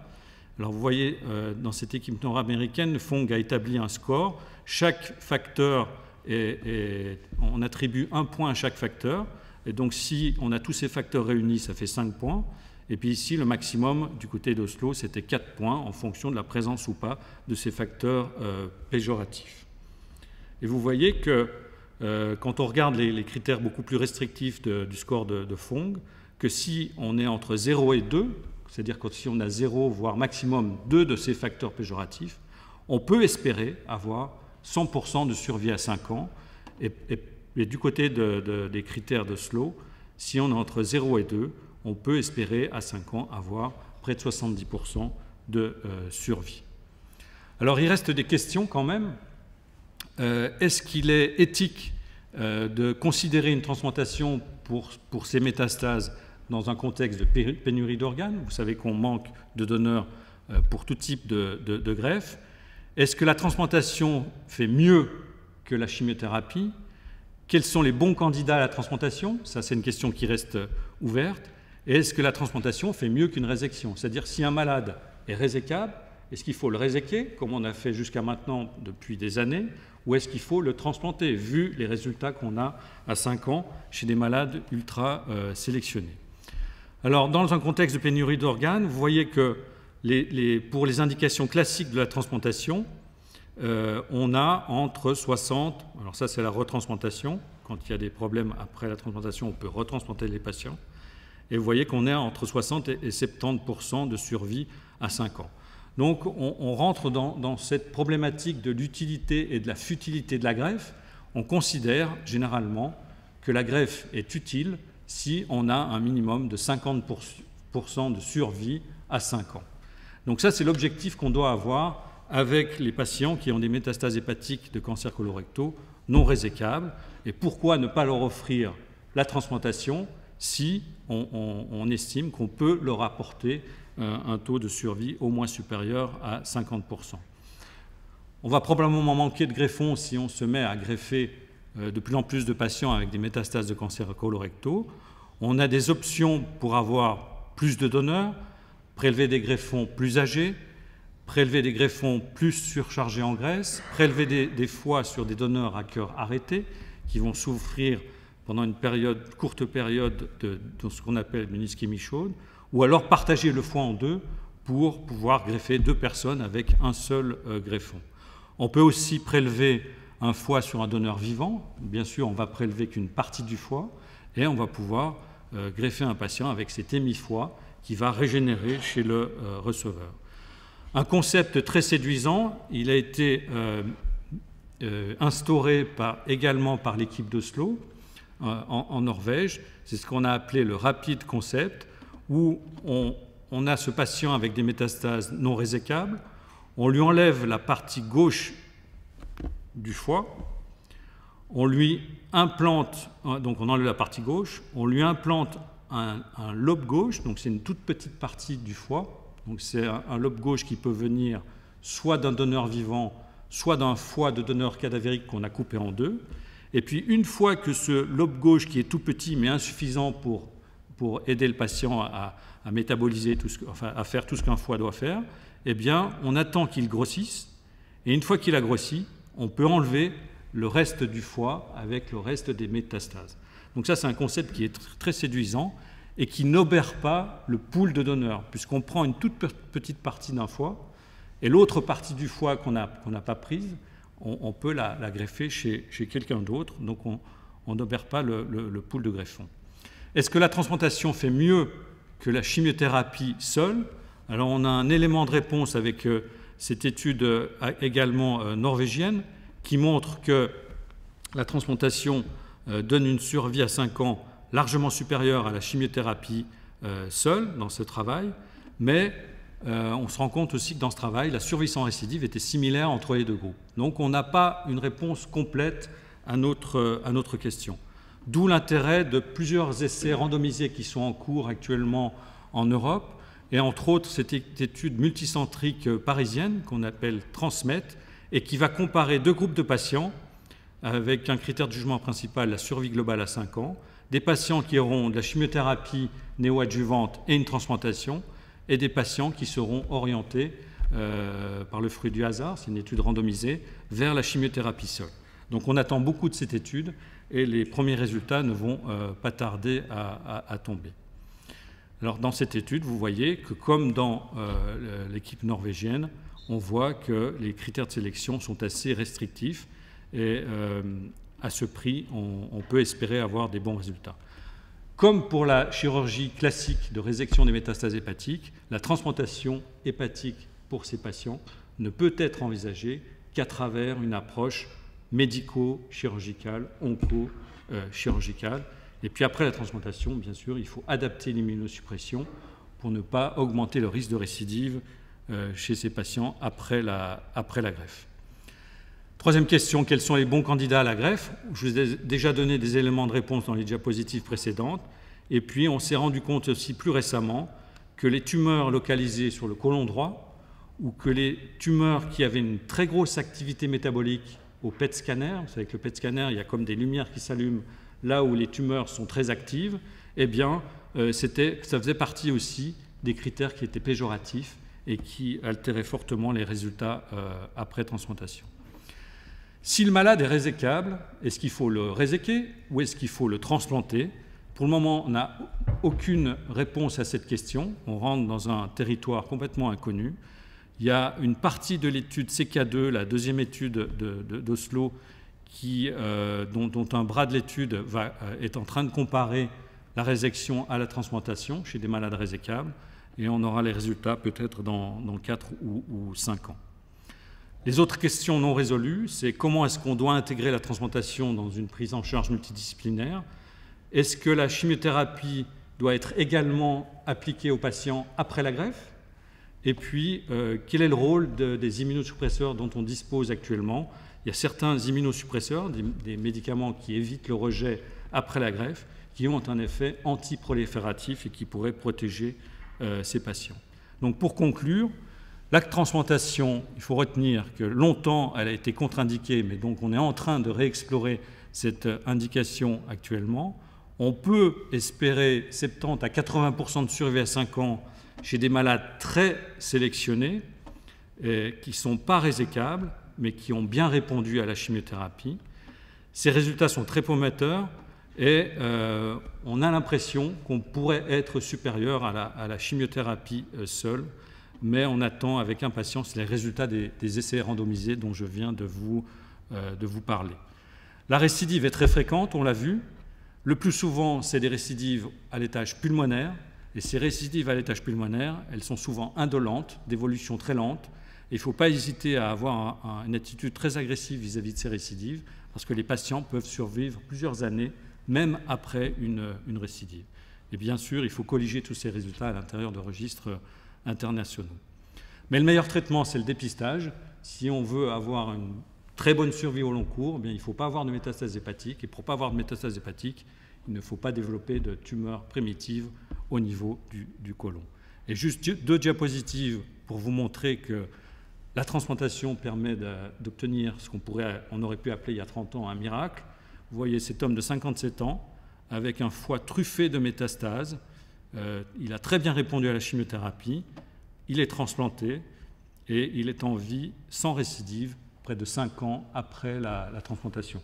Donc ça, c'est des cas qui ont été inclus dans l'étude Transmet, l'étude multicentrique française. Deuxième cas, patient de 40 ans, plus de, plus de 30 métastases à l'intérieur du foie, un marqueur très élevé, il répond très bien à la chimiothérapie, le marqueur chute, il est transplanté, enfin il est randomisé au sein de l'étude, il est transplanté, il a une chimiothérapie adjuvante, et deux ans et demi après la transplantation, il a envie sans récidive.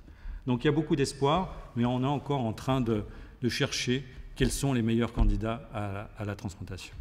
Je vous remercie.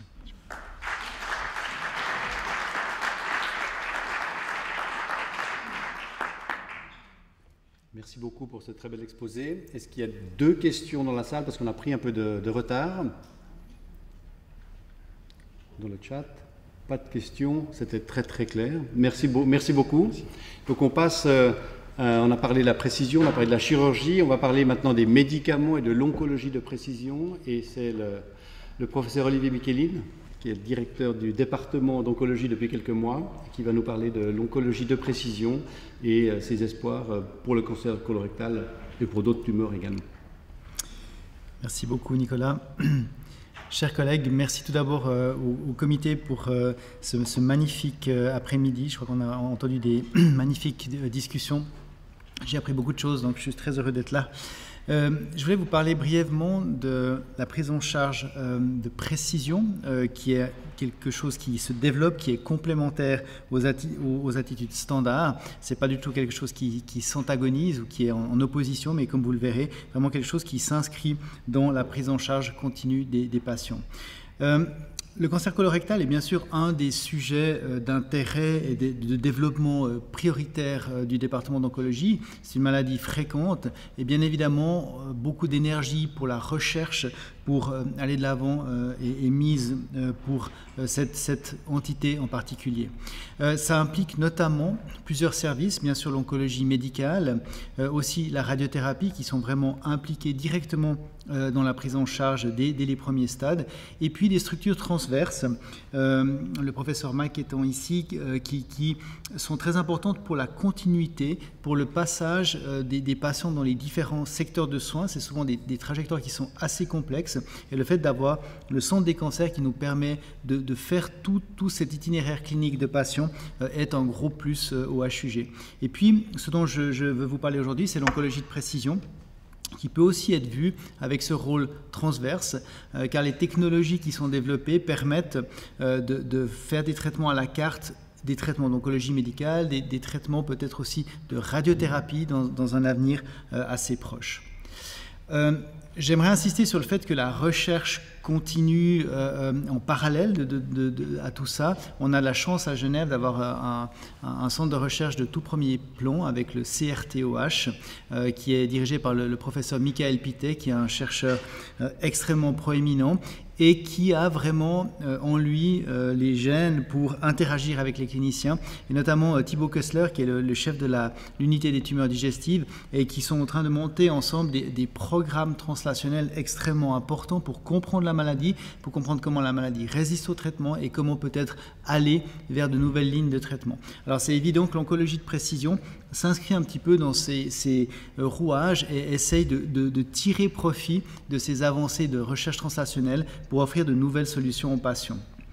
Alors, Lorsque euh, on voit son, docteur, euh, ce dernier va se baser sur toutes sortes de critères, on l'a vu dans les présentations, pour proposer un traitement aux patients. Lorsqu'on dispose d'un centre de recherche translationnelle comme celui que je, viens d'illustrer, eh on a des chercheurs qui vont pouvoir travailler sur des, pièces, des biopsies, euh, le matériel opératoire par exemple, et avec ça ils vont pouvoir proposer de nouveaux traitements, peut-être de nouvelles opportunités pour que euh, le, patient soit pris en charge de la meilleure des manières.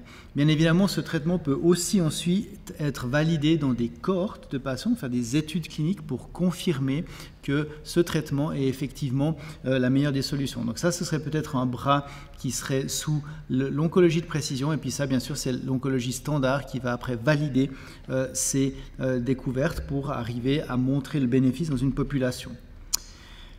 Alors, plus concrètement, Qu'est-ce que l'oncologie de précision? Je crois qu'on a vu dans, nombre de, des présentations aujourd'hui qu'on arrive à avoir des courbes qui, sur le long terme, euh, euh, détermine euh, certains patients qui ont une survie extrêmement longue, que ce soit après des transplantations hépatiques, après certains types de traitements, après des immunothérapies.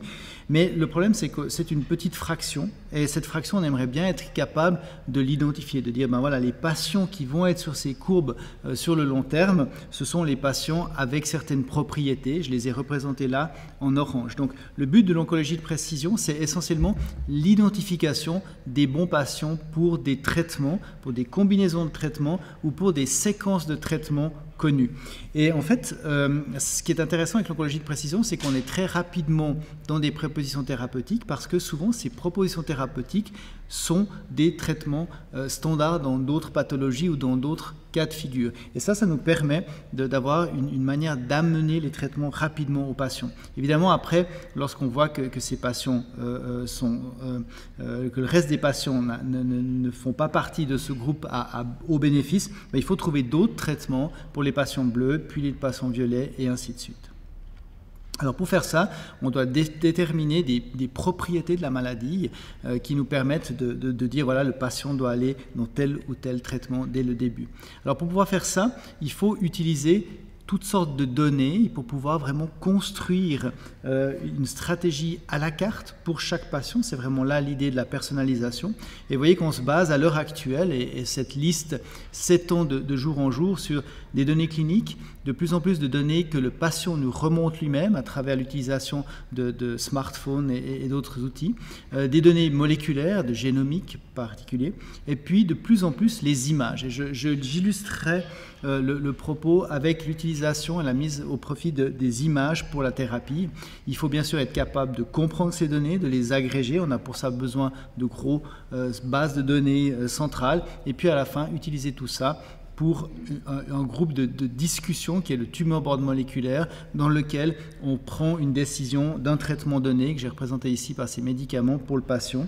Et ce qui est très important, c'est que toute cette boucle doit aller jusqu'à l'ensemble de données de départ initialement, c'est-à-dire qu'il faut que le patient qu'on a traité avec toutes ces réflexions, avec toutes ces analyses, donne une, information supplémentaire pour que les patients suivants soient mieux traités et ainsi de suite. Donc on essaie de créer un cercle vertueux des données de manière à ce qu'on puisse euh, augmenter la performance du système à, chaque patient qui est, qui est pris en charge. Alors je vous parlais des images et c'est ce que j'aimerais illustrer ici. Ce que vous voyez ici, en fait, c'est une coupe de pathologie. Donc c'est ce que le, pathologue, euh, qui sont nos, collaborateurs de, choix dans ces, dans ces développements, voit sous son microscope. Alors là, c'est plus un microscope, maintenant, c'est des images digitalisées, donc c'est une photo à haute résolution.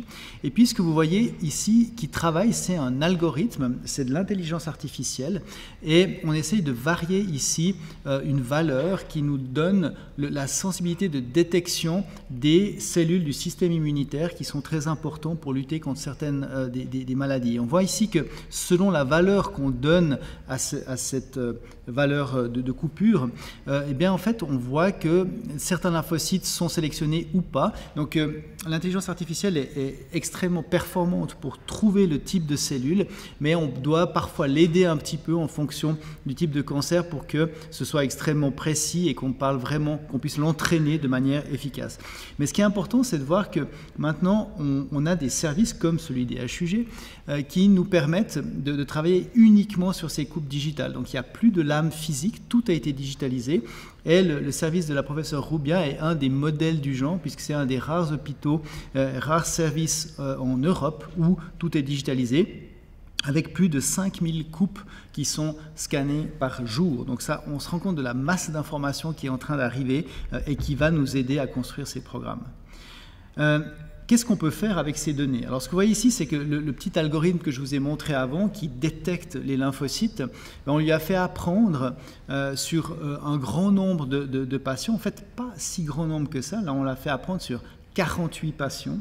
Et sur 48 patients, il a trouvé des propriétés de, de, ces lymphocytes, de ces globules blancs dans la tumeur, euh, qui arrivent à prédire si le patient va répondre ou pas à un traitement.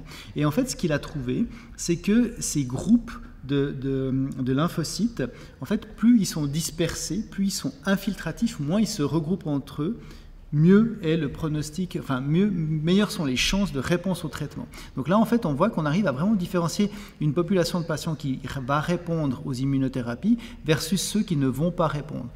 Alors, c'est doublement intéressant parce que d'une part, bah, on arrive à identifier une population de patients, on peut dire bah, faut absolument partir sur une immunothérapie, mais c'est aussi extrêmement important ici parce que là, on identifie réellement des patients qui ne vont pas en bénéficier. Et si vous vous rappelez les courbes du début, bah, c'est une manière de pouvoir dire, voilà, ça, c'est pas les patients orange, c'est des patients pour lesquels il va falloir directement travailler sur une autre prise en charge dès le début. Et c'est vraiment vers ça qu'on essaie de, de se diriger, c'est comment peut-on utiliser toutes ces données, toutes ces informations pour amener le patient le plus tôt possible vers un traitement qui va l'amener sur un bénéfice sur le long terme.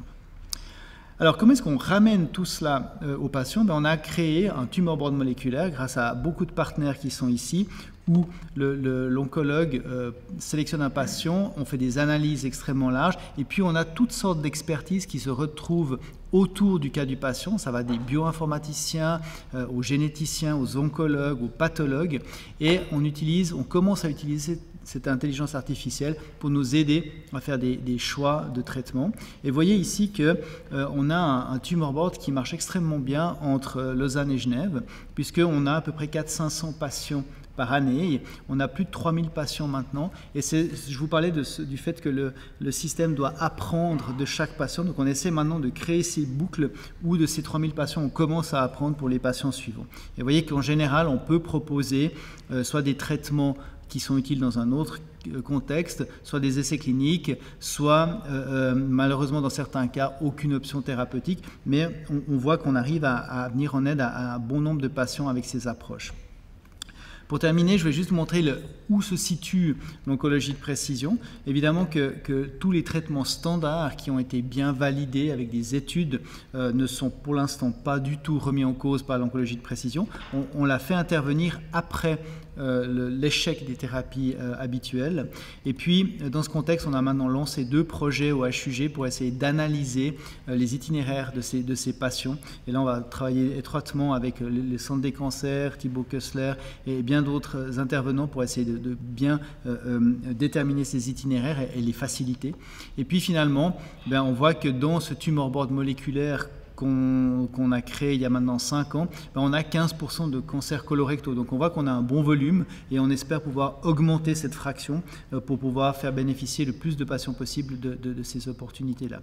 Et pour terminer, j'aimerais juste montrer un exemple qui m'a été fourni par, par Thibaut Kessler, que je remercie beaucoup, qui est un exemple de, succès clinique.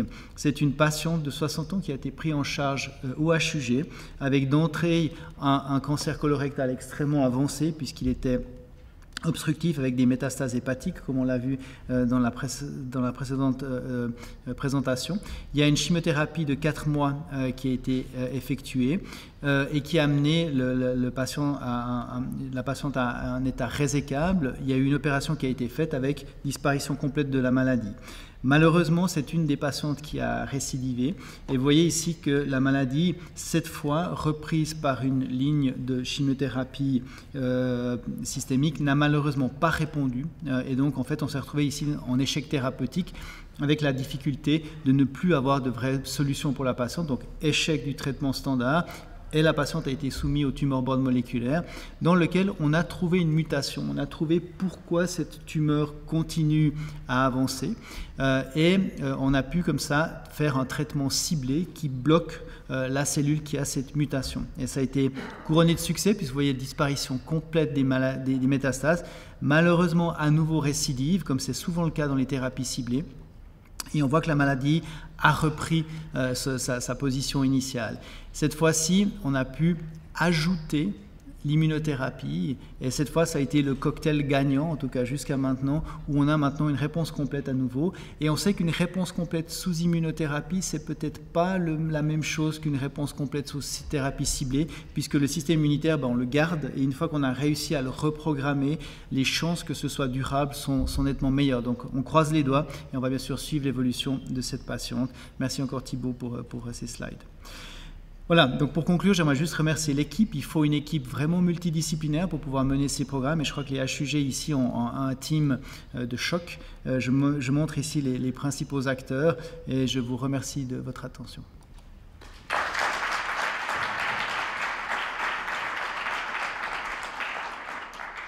Merci beaucoup, euh, Olivier. Je ne sais pas s'il y a des questions dans la salle on a une question euh, online euh, qui fait écho à, la présentation de cas que tu viens de faire, euh, de quelqu'un qui a, qui passé à peu près par la même chose, d'un cancer diagnostiqué en 2016, d'une métastase qui a été enlevée en, 2000, sans chimiothérapie après. alors, au-delà de ce cas-là, peut-être parler de manière plus générale, quel est le risque d'avoir une récidive qui apparaisse encore par la suite? Je pense, je pense, que ce serait plutôt à Thibault hein, de répondre à ces questions, quel, est spécialiste. C'est clair que, le risque est significatif. Hein. Euh, on, a vu les, courbes. Hein. Euh, alors ça dépend vraiment beaucoup. Il y a des facteurs pronostiques, la, taille de la métastase, il y, a, différents facteurs biologiques. Je pense qu'il compte là, c'est vraiment d'avoir un, suivi de, qualité, d'avoir euh, des imageries qui sont faites régulièrement.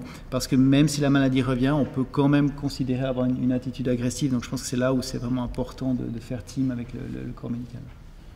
On, sait maintenant qu'après une résection de métastase, il y a environ 50% des patients qui vont avoir une récidive. Mais cette récidive, ce n'est pas synonyme de, comme le disait le professeur Micheline, de fin des traitements. Et on doit continuer à suivre ces patients, traiter ces patients, et on peut rattraper la situation même si on a une récidive de cette maladie. Parfait. Merci, beaucoup, Olivier. merci. Et j'accueille Madame Béatrice euh, Renarch, qu'on remercie encore une fois pour l'organisation euh, de, la, journée, euh, et qui est case manager dans le centre des cancers et qui va nous expliquer comment elle peut nous accompagner quand on, a, quand on est malade.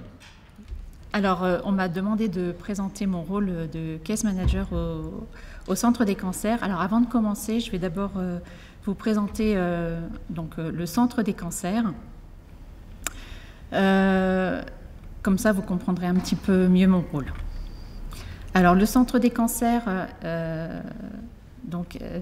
un groupe de personnes donc, où il y a donc, un directeur, un, un co-directeur, une responsable qualité, une responsable d'équipe qui est aussi case manager pour le sein, euh, des secrétaires, le data mining, euh, bien sûr des case managers, et puis nous avons aussi une équipe d'infirmières euh, pour le centre du sein.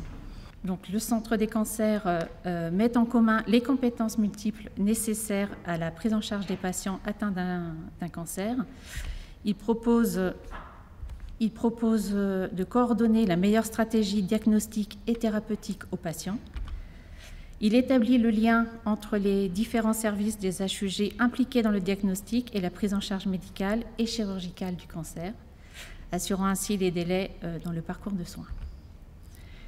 Il est organisé autour de réunions multidisciplinaires que l'on appelle Tumor Board.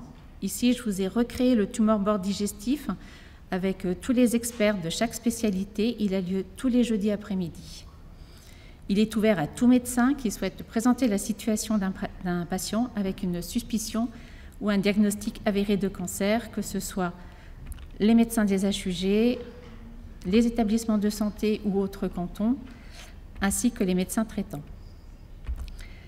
En 2022, 474 patients ont été présentés euh, au tumor board digestif, 212 étaient présentés euh, pour un cancer colorectal, ce qui représente un peu moins de la moitié euh, des cas. Qu'est-ce qu'un parcours de soins? Alors, selon l'EMS, il s'agit d'un ensemble de professionnels de santé organisés autour du médecin généraliste afin d'améliorer la continuité des soins. Il s'agit d'organiser la prise en charge, notamment pour les patients atteints de maladies chroniques en situation de précarité sociale, de handicap ou de perte d'autonomie. Le parcours de soins a pour objectif de faire bénéficier chaque patient d'un suivi médical coordonné avec le juste enchaînement et au bon moment de ses différentes compétences professionnelles. Il est lié directement ou indirectement aux soins, basé euh, sur les bonnes pratiques. Il a pour but de développer une meilleure coordination des interventions professionnelles lors des phases aiguës de la maladie, mais aussi lors de l'accompagnement global du patient sur le long terme. Mais voilà, ça ne se passe pas toujours comme prévu. Il peut y avoir différents éléments ou facteurs qui entravent le parcours de soins, comme par exemple un patient qui a du mal à se remettre de son intervention, qui a des complications, qui réagit mal à son traitement ou qui se péjore dans sa maladie.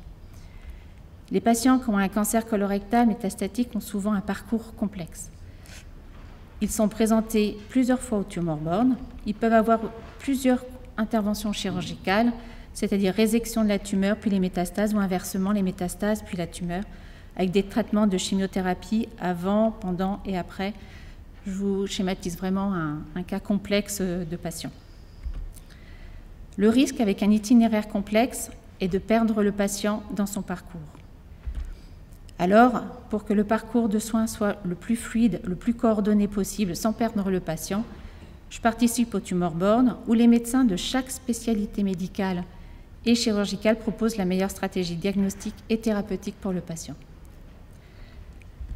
J'assure le suivi individuel de la prise en charge multidisciplinaire des patients et j'interagis avec tous les professionnels de santé afin que toutes les étapes de parcours de soins soient respectées depuis le diagnostic jusqu'à la fin du traitement. Je contribue ainsi à l'amélioration de la qualité de prise en charge des patients, à la diminution des délais d'attente et à la continuité des soins. Tout cela permet d'optimiser les traitements en s'adaptant à chaque patient tout en respectant les recommandations des sociétés savantes. Je ne suis pas en relation directe avec les patients, je suis comme les aiguilleurs du ciel, je suis le parcours de soins de chaque patient à travers son dossier électronique et en étant en contact régulièrement avec les médecins. Afin d'améliorer la prise en charge des patients qui ont un itinéraire, euh, un itinéraire complexe, nous avons un projet avec différents médecins et soignants pour que je puisse rencontrer quelques patients ciblés. Cela permettrait d'avoir une collaboration renforcée avec les différents intervenants de rassurer ainsi les patients et de les accompagner tout le long de leur parcours de soins. En attendant, merci de votre attention.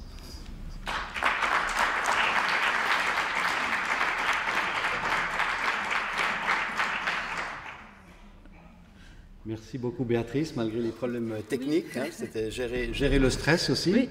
Donc euh, euh, c'était la dernière présentation. On va clore le Zoom avant la partie euh, récréative. Et je ne sais pas s'il y a des questions dans la salle pour, pour Béatrice.